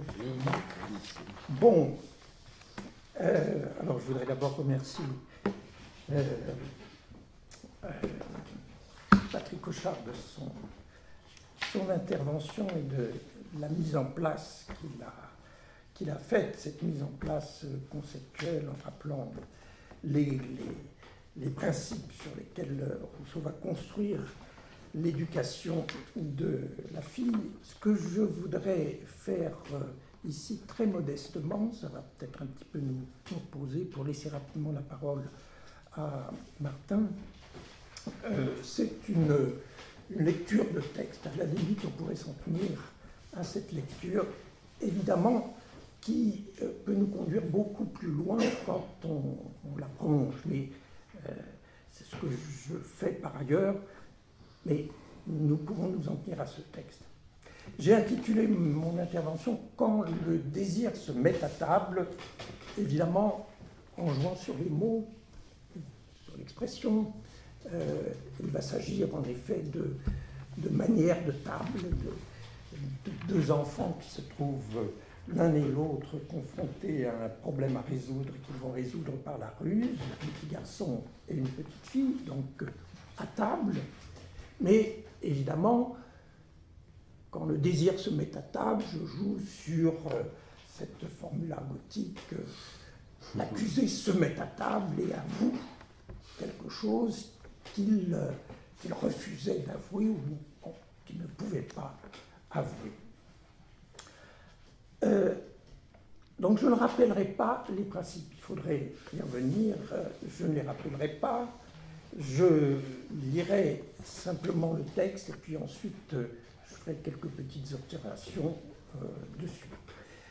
Je rappellerai simplement que pour Rousseau, dans les mille, l'exemple est euh, essentiel. Il revendique le rôle de l'exemple, peut-être même euh, plus hautement que la justesse de ses principes. Page 348 de l'Émile, donc avant ce livre 5, lecteur, Souvenez-vous toujours que celui qui vous parle n'est ni un savant ni un philosophe. Mes raisonnements sont moins fondés sur des principes que sur des faits, et je crois ne pouvoir mieux vous mettre à portée d'en juger que de vous rapporter souvent quelques exemples des observations qui me les suggèrent. Ça se trouve un peu avant le, le fameux texte Tais-toi, Jean-Jacques, où hmm. on se trouve déjà autour d'une table et où il, il s'abstient de parler de peur de n'être pas entendu. Et le texte se termine quelques pages plus loin par cette formule Nul de nous n'est assez philosophe pour savoir se mettre à la place d'un enfant. Page 355. Alors, voici le texte que nous allons lire ensemble, si vous voulez. Il se trouve page 711-712 euh, du livre 5 d'Émile, dans l'édition de la Pléiade, donc au cœur de ce que Patrick Cochard vient de nous rappeler. Il s'agit donc d'un détail ici qui, entre dans ce qu'il nous a euh, démontré ou fait apparaître. Je le lis, hein, en soulignant peut-être dans ma lecture quelques termes qui précisément peuvent faire problème ou amener des interrogations. La ruse est un talent naturel au sexe. Et persuadé que tous les penchants naturels sont bons et droits par eux-mêmes, je suis d'avis qu'on cultive celui-là comme les autres. Il ne s'agit que d'en prévenir l'abus. très rapidement, il y a évidemment un petit paradoxe, puisque euh, la ruse, c'est précisément un détournement, euh, et que ici, il s'agit d'évoquer un euh, euh, penchant naturel bon et droit. Donc, comment concilier la ruse, le piège, etc., et la droiture euh, Nous le verrons. Autre question, talent naturel au sexe. Ça revient un petit peu à la question que je posais. naturel dans quel sens est-ce que ça relève de la nature de la femme ou est-ce que c'est la nature en général qui donne euh, à la femme ce talent? Il y a une ambiguïté sur l'usage du terme de nature que Rousseau essaye de résoudre au tout début du livre 1. On y reviendra peut-être. Que faut-il entendre par nature? Et il y a en effet équivocité dans l'usage de ce terme. Donc, je m'en rapporte sur la vérité de cette remarque donc que la ruse est un talent naturel au sexe, à tout observateur de bonne foi. Je ne veux point qu'on examine là-dessus les femmes mêmes. Nos gênantes institutions peuvent les forcer d'aiguiser leur esprit. Je veux qu'on examine les filles, les petites filles, qui ne font, pour ainsi dire, que de naître. Vous voyez comment il veut absolument nous reconduire au degré zéro de la convention et de la socialisation, pour ainsi dire de naître. Qu'on les compare avec les petits garçons de même âge, et si ceux-ci ne paraissent lourds, étourdis, bêtes auprès d'elle, j'aurais tort incontestablement, qu'on me permette un seul exemple pris dans toute la naïveté puérile. Donc, c'est un exemple quand même décisif, puisque de cet exemple va dépendre euh, le fait qu'il ait tort ou qu'il ait raison. Donc, euh, euh, c'est un détail, mais un détail qui a son importance. je laisse d'autres remarques qu'on pourrait faire sur ce paragraphe. Il est très commun de défendre aux enfants de rien demander à table, car on ne croit jamais mieux réussir dans leur éducation qu'en la surchargeant de préceptes inutiles, comme si un morceau de ceci ou de cela n'était pas bientôt accordé ou refusé, sans faire mourir sans cesse un pauvre enfant d'une convoitise aiguisée par l'espérance. Il est très commun de défendre aux enfants, euh, là-dessus on reconnaît le Rousseau critique de l'éducation habituelle, des éducateurs qui sont tous des précepteurs. Le gouverneur d'Émile, on s'en souvient, refuse cette position de précepteur, euh, ne lui commandez jamais rien, euh, etc. Vous connaissez ces phrases fameuses du livre 2 d'Émile. Hein. Euh, donc, pas de, pas de préceptes qui sont d'autant plus inutiles que quand il s'agit de satisfaire un besoin, nous verrons qu'on pourra discuter là-dessus, il suffit d'un oui ou d'un non il rappelle en note que euh, c'est très facile devant un enfant, lui dit il n'y a plus rien. Une fois qu'on lui aura dit il n'y a plus rien, il sera confronté à la nécessité et la nécessité des choses et non pas la mauvaise volonté d'un maître capricieux et il se taira, il ne réclamera plus. Euh, il y a donc là quelque chose à la fois d'inutile et de cruel puisque euh, on joue à faire mourir sans cesse un pauvre enfant d'une convoitise aiguisée par l'espérance. Je m'arrête une seconde sur ce mot de convoitise. Il n'est pas du tout indifférent sous la plume de Rousseau. Là, on peut mettre en série des textes. La convoitise est certainement euh, fondée ici sur un besoin, même un besoin premier, la faim, l'appétit, mais la convoitise est un, désir, un désir coupable, et coupable parce que c'est un désir qui porte sur l'objet qui est la propriété de l'autre. On ne convoite que ce qui est à l'autre. Le désir de celui qui convoite, c'est le désir de l'autre le désir même, le désir du désir de l'autre. Euh, et quand on lit les définitions du mot convoitise dans les différents dictionnaires, très vous les jésuites naturellement, convoitise est très spécifiquement euh, associée, la convoitise, très spécifiquement associée à la concupiscence, qui est le désir de ce qu'a l'autre, et très précisément euh, son objet sexuel sa femme. Convoitise porte sur le fait de vouloir posséder la femme de l'autre.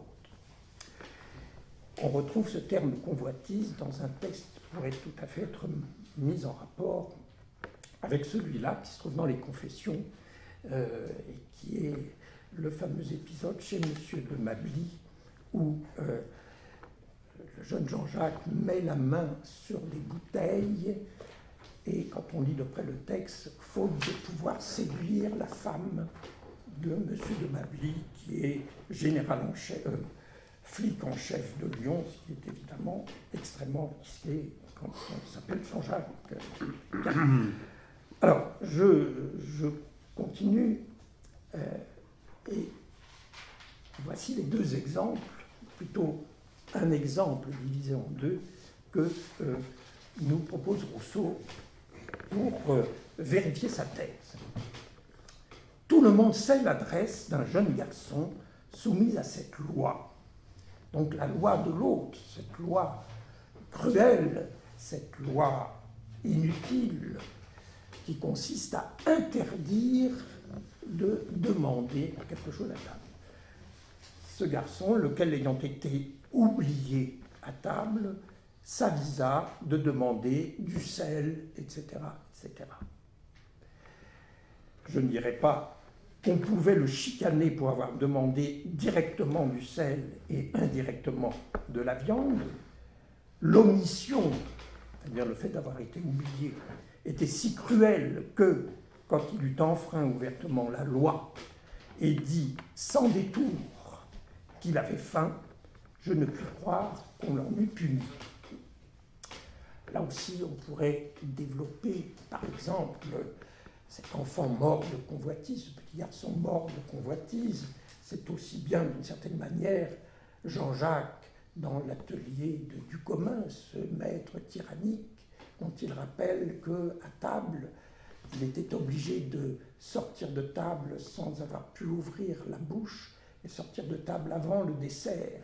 C'est ainsi que j'appris à convoiter en silence et avec tout ce qui s'ensuit, à convoiter, à me dissimuler, à me cacher, à dérober enfin fantaisie qui ne m'était jamais venue jusque-là.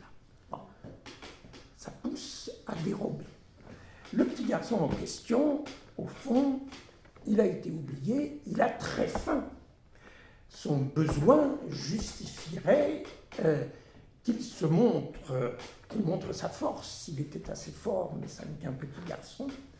Et donc, il va se trouver contraint, euh, pour satisfaire un besoin parfaitement naturel, hein, qui n'est pas un besoin de fantaisie, qui n'a rien à voir avec la gourmandise dont on parlera avec la petite fille, il va utiliser ce qu'on peut appeler une ruse, ce qui est très exactement un tour, un tour de table.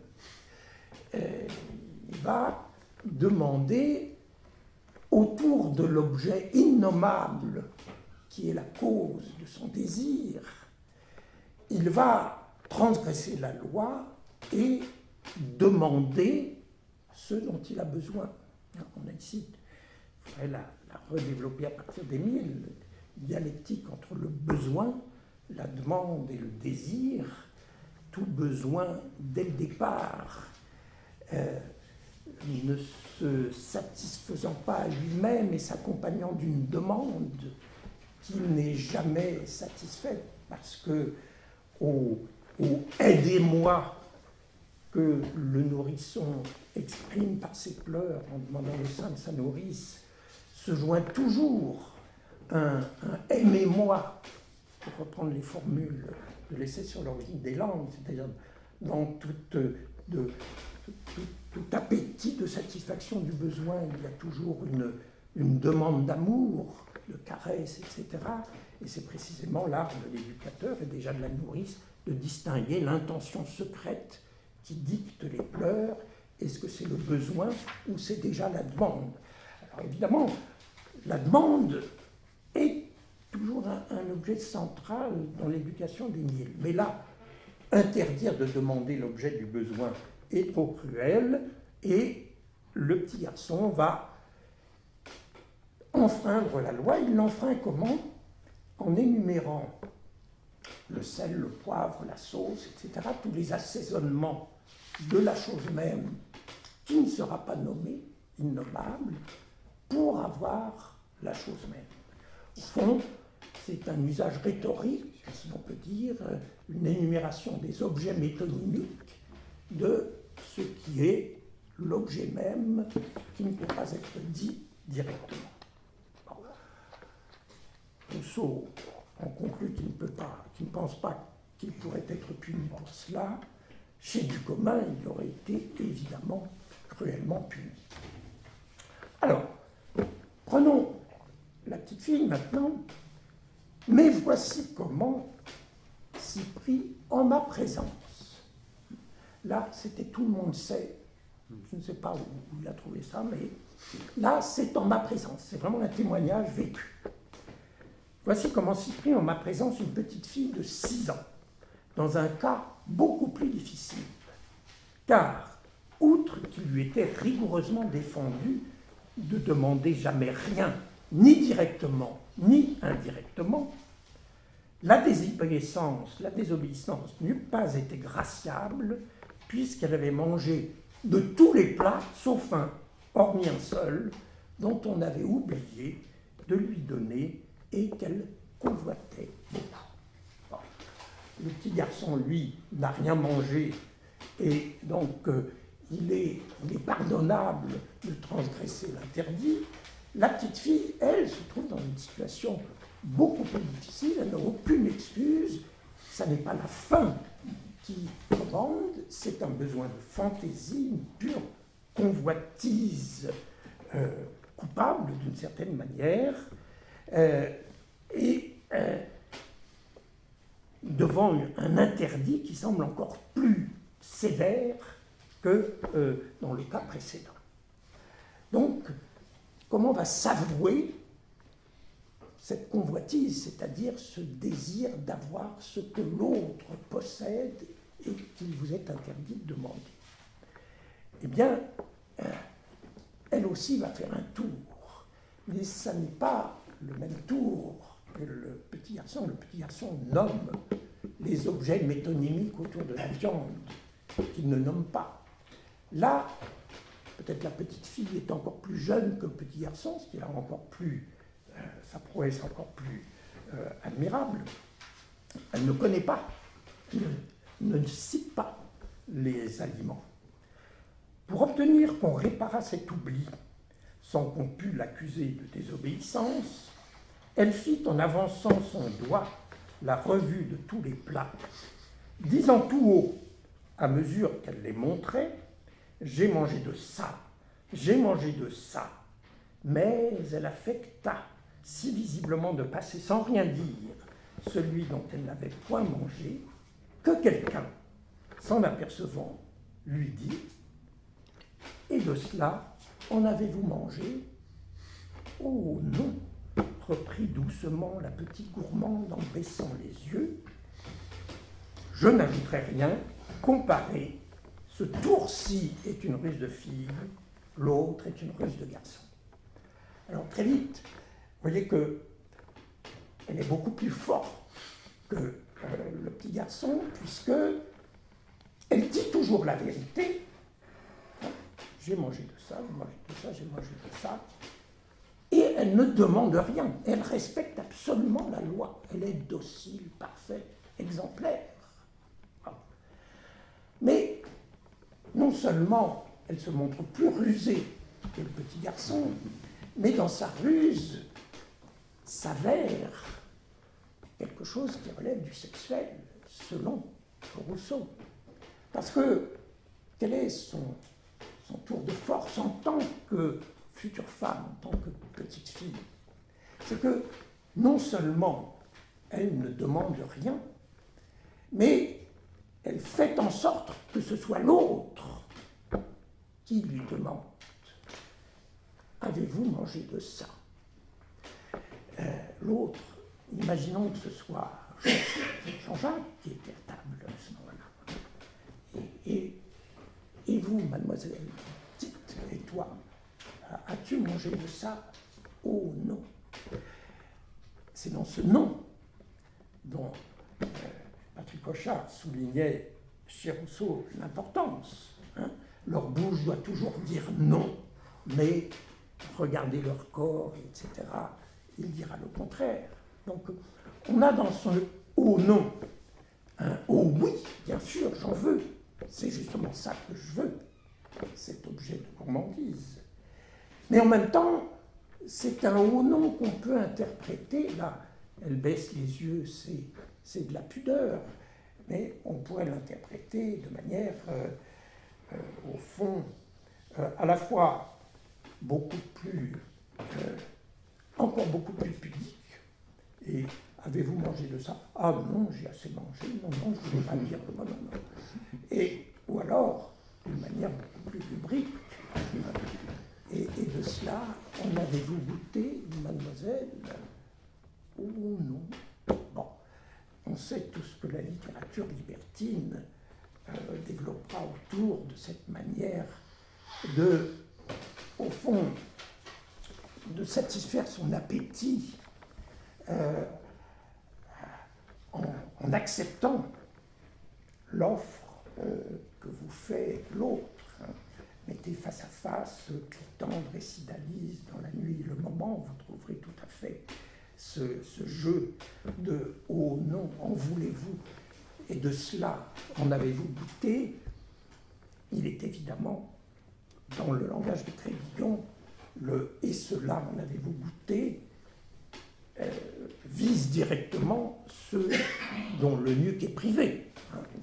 Euh, on trouve aussi. Laissons tous les exemples qu'on pourrait développer autour de cela. Euh, je termine par le dernier paragraphe, mais on pourrait revenir sur beaucoup de choses euh, que, je n'ai pas soulignées.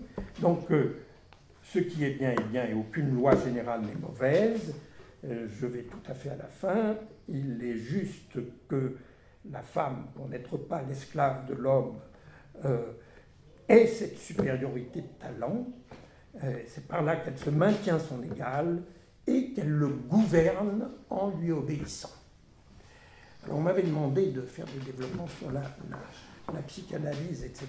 Je ne les ferai évidemment pas, mais on a dans cette formule, euh, elle le gouverne en lui obéissant, très exactement la formule qu'on trouve déjà chez Freud dans ses études sur l'hystérie, dans la, la Traumdeutung, le fameux rêve de la spirituelle bouchère qui refuse le caviar, avec son, son boucher, son mari boucher, et euh, que Lacan développe à plusieurs reprises. Euh, l'hystérique, c'est celle qui veut un maître sur lequel elle règne, c'est-à-dire qui veut un maître qu'elle gouverne. Euh, et évidemment, l'hystérique, on peut la, rabattre sur la féminité comme telle, mais la sexualité, évidemment, ne se résout pas, ne se résout pas. À l'anatomie et on, trouve de grandes hystéries qui euh, sont, masculins, au moins chez Lacan, comme Socrate, dans le transfert. Voilà, j'arrête là, j'ai la voix un peu cachée, excusez-moi.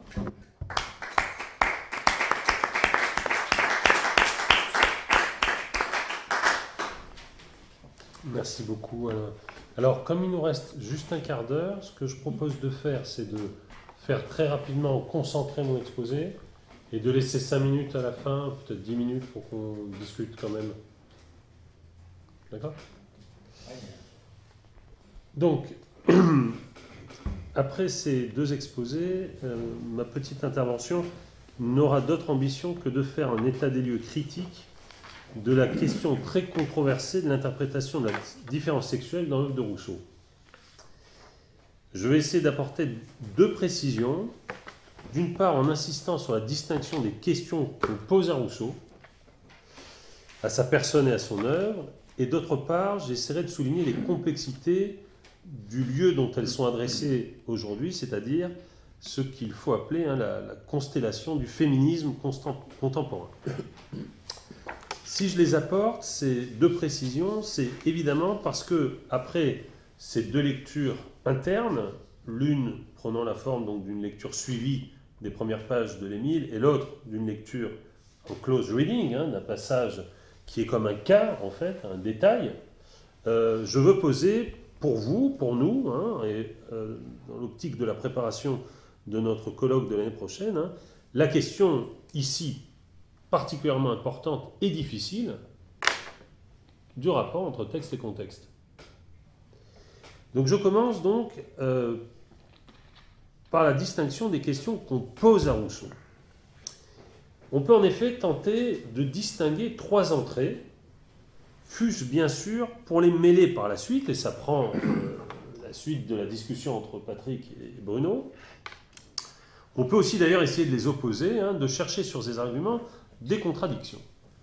Il y a d'abord, et c'est la première entrée, une entrée qu'on pourrait appeler Rousseau et les femmes.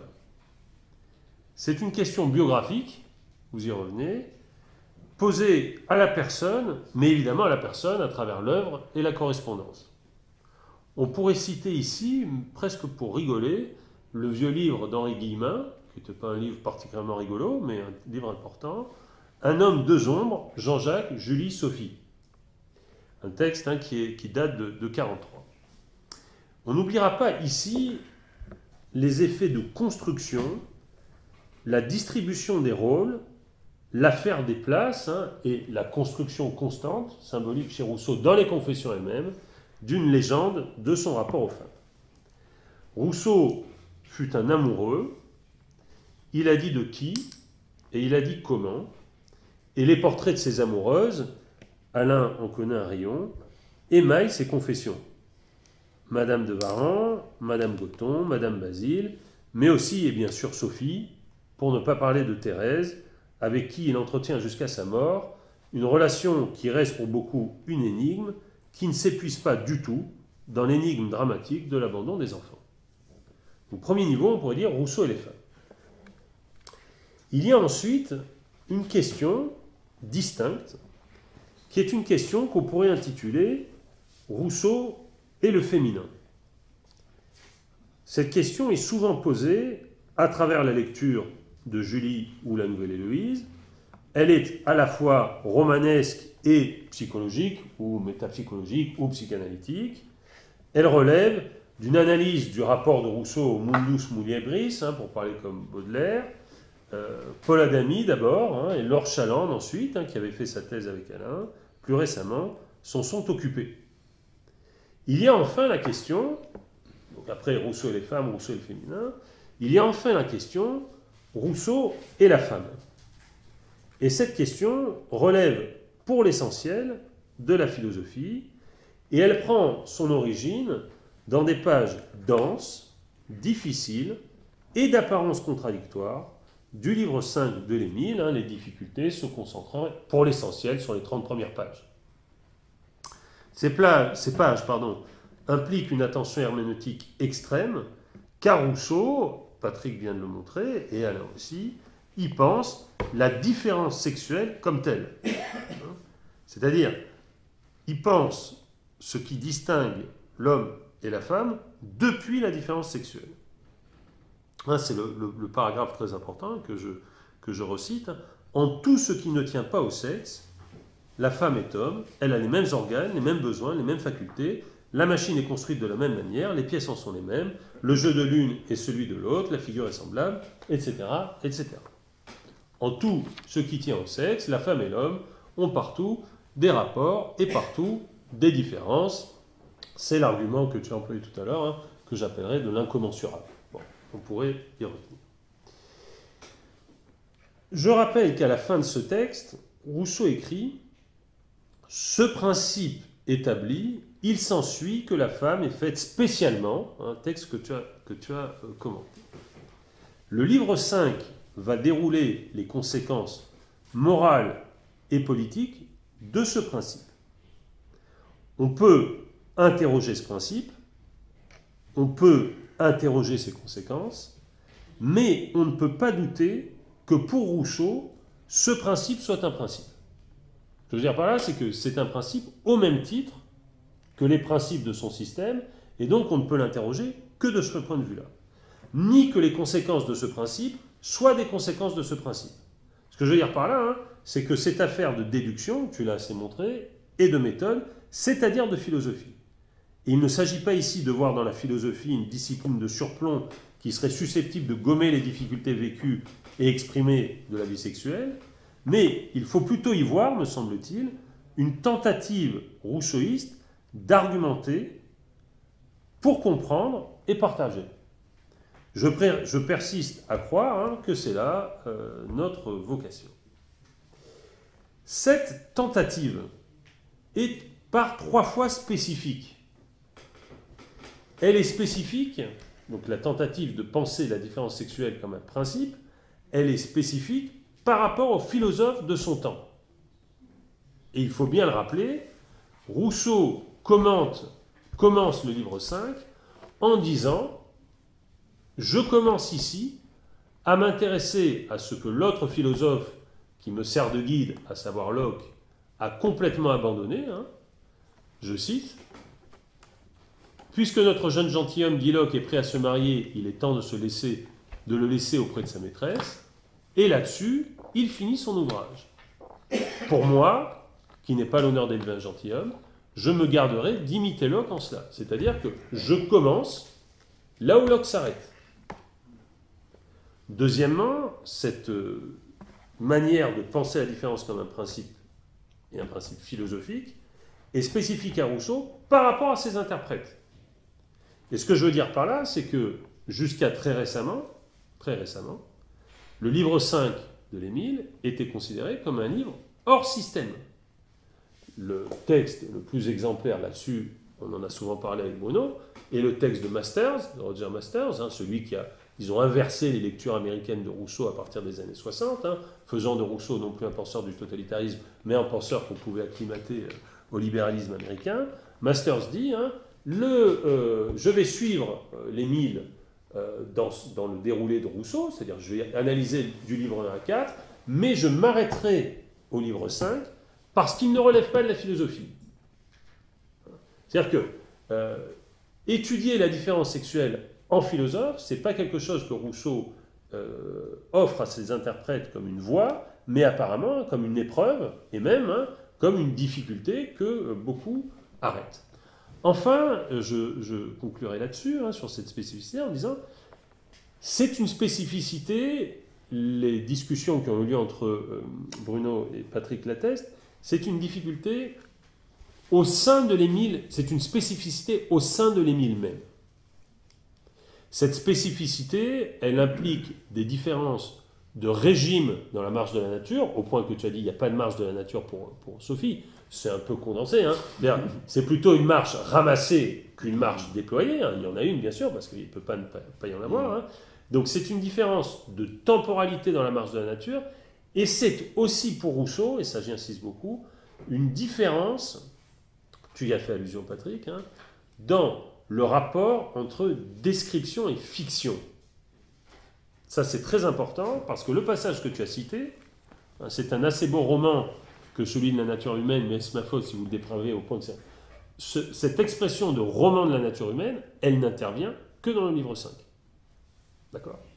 Ce qui veut dire que pour Rousseau, jamais la tresse du littéraire et du philosophique n'est aussi dense que quand il s'agit d'aborder la question des rapports amoureux. Ce qui, à mon avis, est une indication, Alain euh, faisait allusion à Cabillon, qu'on peut difficilement lire ce livre 5 sans faire référence non seulement aux philosophes dont s'inspire Rousseau, mais aussi aux écrivains dont il essaie, de se départir, et notamment Marivaux. Marivaux et Fénelon étant les deux intertextes du livre 5. Les femmes, le féminin, la femme, ces trois niveaux pourraient bien sûr s'articuler à des noms propres et à des prénoms différents, type hein, Sophie, Julie, Sophie. Leur confusion implique bien que cette tripartition relève peut-être davantage, pour parler comme Hegel, hein, d'une logique formelle que d'une logique réelle. Le deuxième préambule, j'accélère, concerne les lectures féministes de Rousseau. Je crois qu'il faut faire très attention. On n'a bien sûr pas affaire à deux fronts, au front des rousseauistes contre, le front des féministes. De même que le front de Rousseau, si j'ose dire, est multiple, celui du féminisme n'est pas unifié. Et je crois, c'est un peu la tentative qu'avait faite euh, Céline Spector dans son livre Au, prisme de Rousseau, qu'on pourrait même utiliser Rousseau comme un critère pour départager les féminismes. Alors je le fais rapidement, euh, en me contentant de, lire l'introduction de, euh, de ce que je voulais avancer. À s'en tenir à la France, à s'en tenir à la France, il semble, en faisant le tour des, des bibliographies, qu'on puisse soutenir qu'on assiste aujourd'hui à une troisième vague de féminisme. La première vague fut axée, vous le savez toutes et tous aussi bien que moi, sur l'émancipation des femmes et la revendication des droits dans la sphère publique, c'est-à-dire 19e siècle et première moitié du 20e. La seconde, sur la contestation de la domination masculine et la libération des femmes, y compris dans la sphère privée. C'est le féminisme d'après-guerre qui va jusqu'aux années 60-70. La première, je le rappelle, celle qui est axée sur l'émancipation, reposait explicitement sur un argumentaire inspiré des penseurs des Lumières et de Marx. Fût-ce d'ailleurs pour montrer que Rousseau et Marx présentaient des décalages, le terme est sers, entre leur thèse générale sur l'émancipation et sa difficile application aux femmes. Le cas le plus exemplaire, hein, c'est celui euh, de, euh, de Wollstonecraft, hein, de Mary Wollstonecraft, qui écrit en 1792 un traité qui s'appelle euh, Sur la revendication des droits des femmes, et qui, dans le chapitre 5, utilise Rousseau contre Rousseau. Hein, de même qu'on a pu utiliser Voltaire contre Voltaire, hein, elle utilise Rousseau contre Rousseau en disant c'est bizarre quand même, parce que Rousseau qui nous explique dans les Mille et dans le contrat comment penser l'émancipation, sombre dans un discours sur les femmes qui est un discours hein, qui est au contraire un discours conservateur, etc. etc. C'est un petit peu ce qu'Althusser appelait les décalages dans, son texte sur le contrat. La seconde vague reposait sur un argumentaire qui était inspiré de penseurs beaucoup plus euh, tardifs, hein, des penseurs de la libération sexuelle, de Freud et Marcuse, etc. Deux mots sur ces deux vagues. Le premier est pour indiquer que ces deux vagues n'avaient pas exactement le même sujet. Pour la première, pour la première vague, la femme est d'abord un sujet politique, alors je pourrais développer tout ça, hein, qui doit lutter pour son statut. C'est la question du statut des droits. La seconde vague avait pour sujet la femme comme corps. Si j'ose dire, hein, on enfonçait un mur, ce n'était plus, dans plus dans les murs de la cité qu'il fallait libérer la femme. La lutte ne s'achevait pas avec la conquête des droits civiques, mais dans la maison, avec sa libération. En d'autres termes, hein, émanciper, émanciper, la femme n'en était pas pour autant libérée. Le deuxième mot et pour soutenir que Rousseau a pu servir dans chacune de ces vagues à la fois comme un repoussoir et comme un allié. Pour la première vague, c'est-à-dire celle de l'émancipation des droits, il semble à première vue que Rousseau ait été un repoussoir, car il cantonne la femme, c'est du moins une lecture euh, qu'on peut faire du livre 5 et de la lettre d'Alembert, à une existence privée et domestique. Mais je rappelle, et il y a une bibliographie américaine considérable sur ce point, que Rousseau aussi a pu servir d'allié, car l'Émile fait de, Sophie, et tu l'as montré, et de l'attachement qu'Émile a pour elle, la condition même de possibilité de l'attachement à l'humanité, par là même la condition même du politique. Donc Rousseau changeait de signe d'une certaine manière. Pour la deuxième vague, Rousseau a bien sûr pu servir de repoussoir, Lorsqu'il fait de Sophie, on vient de le voir, la femme faite pour plaire. La question de la plaisance. Mais il ne faut pas oublier non plus que du point de vue du corps de Sophie, Rousseau fait du consentement, et tu l'as bien montré, hein, tu, as, insisté sur ce point, la condition même de la jouissance féminine.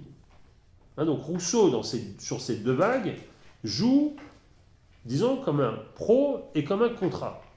Hein. Cette, euh, cette ambiguïté euh, de, Rousseau, hein, dans la première vague, on peut dire hein, qu'elle anime la généalogie du sexisme rousseauiste, de Wollstonecraft hein, à euh, une penseur aussi originale et importante, qui est Carol Patman, dans la notion de contrat sexuel.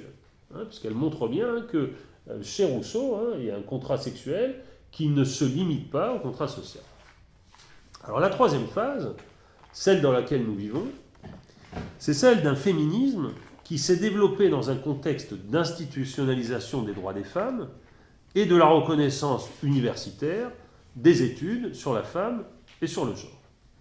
Le front, comme on sait, a éclaté, et je voudrais juste indiquer la pluralité de ces fronts, et l'objet de mon exposé, c'était plutôt de montrer la place que Rousseau occupe dans la pluralité de ces fronts. Mais je me contente, parce que je crois que c'est plus utile ici, hein, d'indiquer la pluralité de ces fronts.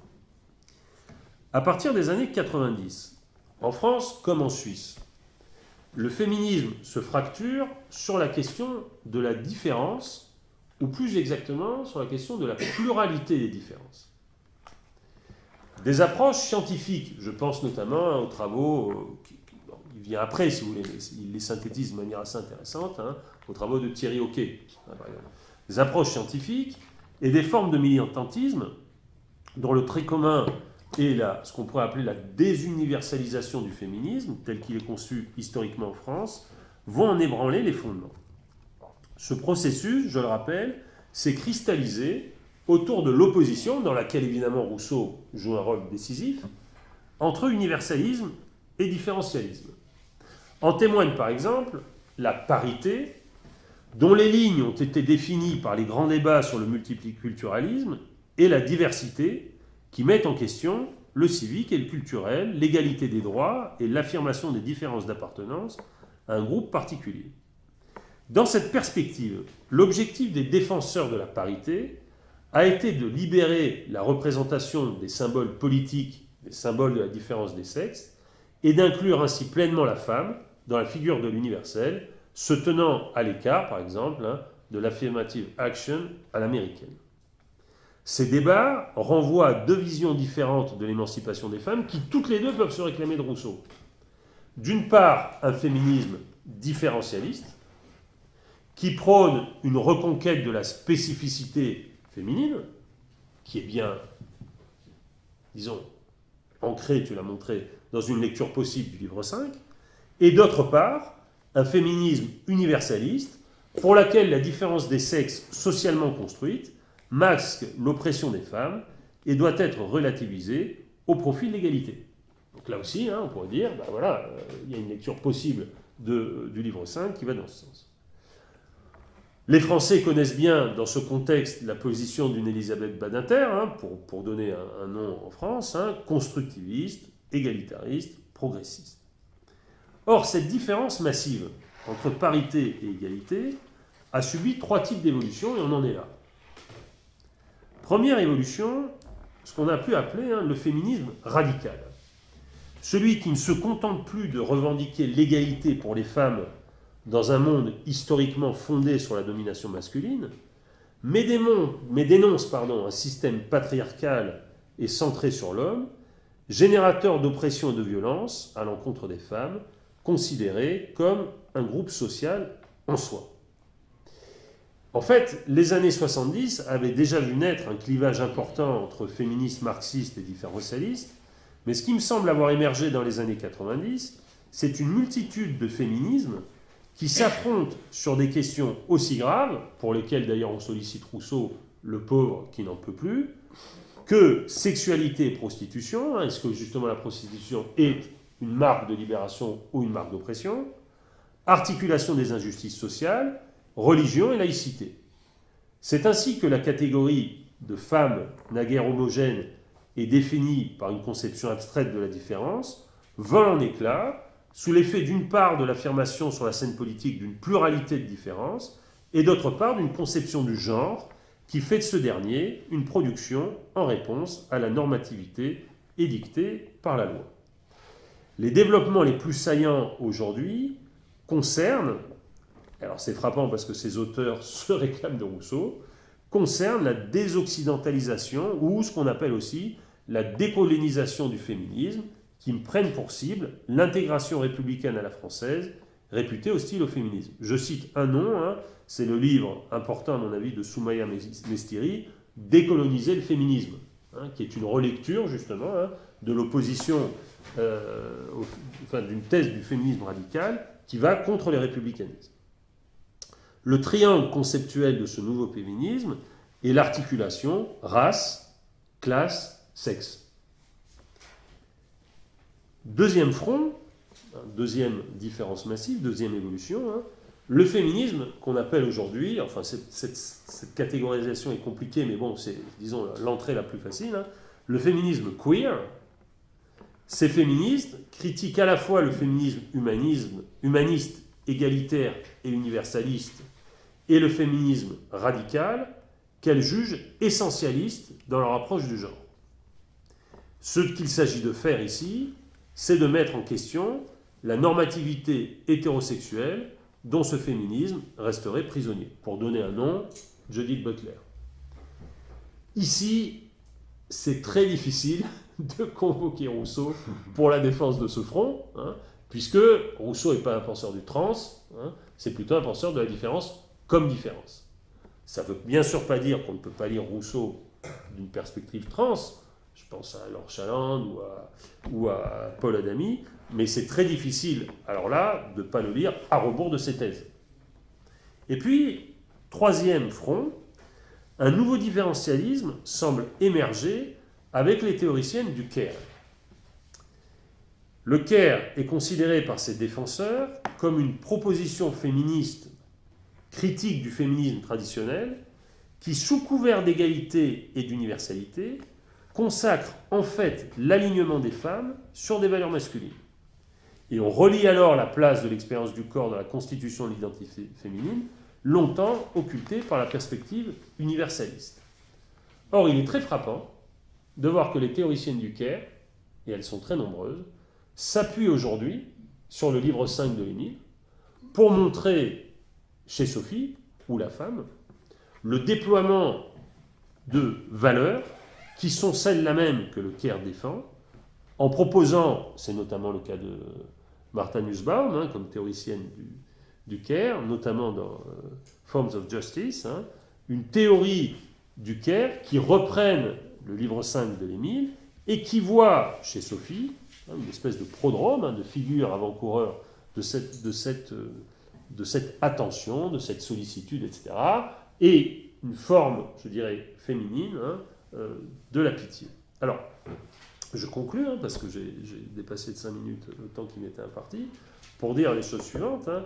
Il me semble que, euh, la, ce, que, le colloque devrait essayer de faire, hein, c'est de marier, c'est peut-être pas dans ce contexte un bon terme, de faire se rencontrer de manière polémique des lectures polémiques et constructives, des lectures internalistes qui sont les nôtres, celle de spécialistes de Rousseau, hein, et des, contextes, à la fois contemporains de Rousseau et les nôtres, pour montrer justement la fécondité et peut-être les limites des thèses de Rousseau, hein, mais surtout pour montrer, et c'était ça un peu le but de, mon exposé, hein, comment Rousseau, ici comme dans d'autres contextes d'ailleurs, euh, peut servir par la génialité justement des tensions Hein, de ces concepts, internes à ces concepts, et par la précision de ces descriptions phénoménologiques, peut servir de critère pour départager des mouvements.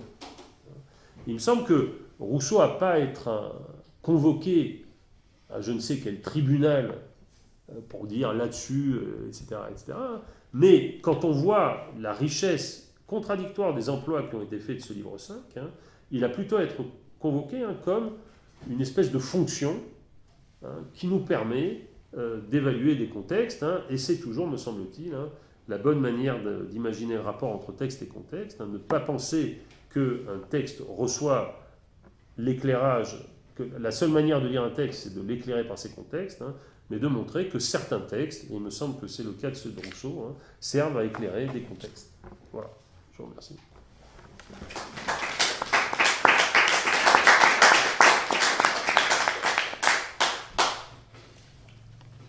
On garde 5 minutes pour les questions, hein, pour, l'exposé d'Alain et, le mien, et puis on, s'arrête 5 euh, minutes.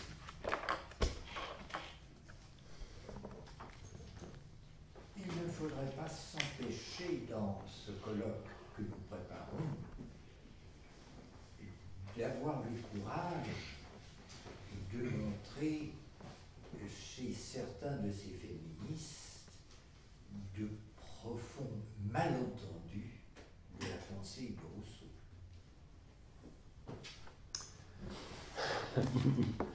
J'entends ce que vous voulez dire, mais bien sûr, mais je crois, si vous voulez, que euh, je pense que d'un point de vue de lecteur de Rousseau, on ne peut être que d'accord avec ce que vous dites. Pas, mais, mais, en même temps, il me semble que euh, la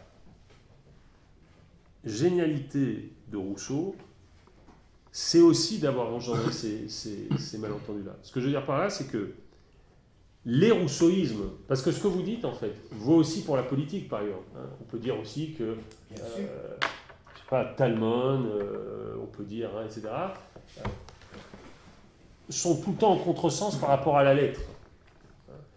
Et donc, je pense que ce qu'il faut montrer, hein, c'est qu'est-ce qu'il y a dans la lettre de Rousseau qui a une puissance de provocation telle que des contextes réagissent jusqu'au contresens. Jusqu'au contresens. Bruno? Euh, En disant que, pour ma part, euh, plus ça va, plus je trouve Rousseau difficile à entendre, ou plus aisément à écouter. Euh, et euh, je suis parfois reconnaissant, y compris entre guillemets des contresens ou à des lectures forcées, de m'obliger à sortir des lectures déjà acquises, voire des ornières, dans lesquelles je suis par rapport au texte de Rousseau.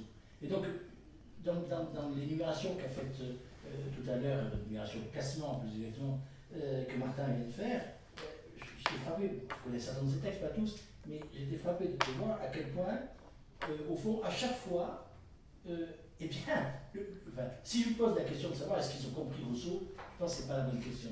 Euh, la question c'est qu'est-ce qu'ils peuvent m'aider à comprendre de Rousseau Je n'avais pas vu. Et là, je reste presque jamais sur ma fin. Ouais, ouais. Oui, en effet une bonne pers- perspective.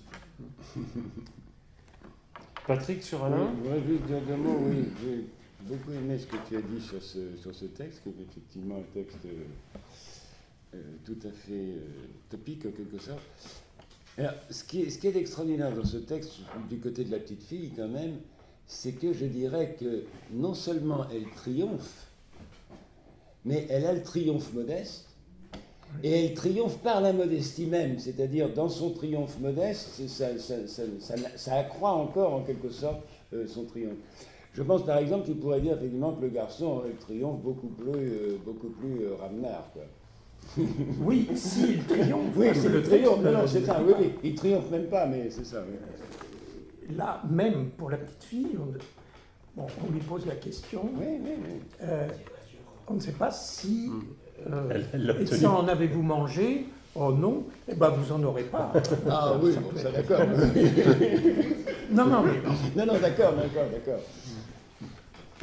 Mais elle aurait triomphé de l'interdit quand même, même si. euh, oui, oui, mais Non, mais il y a, des phrases, il y a des, Oui, oui, oui. des- des phrases de Rousseau dans, dans le livre 5 où il dit justement, c'est ça, c'est ce sentiment de, de s'élever à une altitude morale euh, qui, qui, au fond, la véritable jouissance Oui, oui, oui, oui, oui. euh, C'est-à-dire qu'on ne distingue pas chez la femme ni entre, entre le Ah, devoir, la jouissance. Il faut rester très, très en... Il faut rester dans l'ambiguïté, je crois. Voilà, voilà, c'est ça, c'est ça. Et- et- Ce Oui, que, ce que rester je, dans l'énigme, l'énigme de la féminité. ce que je voulais dire aussi à Alain, qu'il a bien fait ressortir et que je crois important pour, la, pour le colloque, c'est combien dans ces textes et dans ce livre 5, Rousseau fait de l'humour. C'est-à-dire qu'il y a une touche dans le livre 5 quand il aborde ces questions très très particulières hein, et qu'on pourrait même voir stylistiquement. Il y, a une, il y a une manière de parler de ces choses qui tient aussi à la façon dont il a une, une délicatesse de toucher quand il parle des enfants, etc. Mais les exemples du livre 5 euh, sont euh, porteurs d'un d'une- d'un humour très particulier, me semble-t-il, très, très différent de ceux des, des livres précédents. Une dernière question de Bruno, et puis on... Juste une remarque de vocabulaire. Il est assez intéressant de voir que dans la version, je l'ai sous les yeux sur euh, le fameux femme, euh, et la, la- la première rédaction, la rédaction à l'entrée du texte, ça n'est pas la ruse, mais la finesse. Hmm.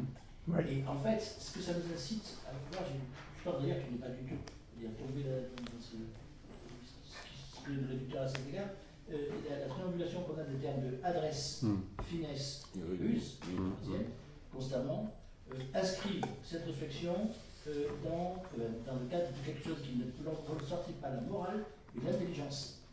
Euh, C'est la question de l'intelligence, l'intelligence de la femme, qui renvoie d'ailleurs du coup pas à ce qu'on traduit par ruse, mais à la métisse. Mhm. Oui, oui. Donc il dit d'ailleurs, la, L'ambiguïté. la- la femme est plus précoce, pour l'intelligence de la femme est plus précoce Oui, oui, bien sûr. bien sûr. chez- chez- que chez Pierre. Hmm. Bien, je vous propose qu'on lève cette, euh, cette euh, ce- séance de journée d'études. Je crois qu'on a compris qu'on ne va pas s'ennuyer avec ce colloque. Merci beaucoup à Patrick Auchard, merci beaucoup à Alain, merci à vous toutes et à vous tous. Et puis on se retrouve dans 10 minutes pour la...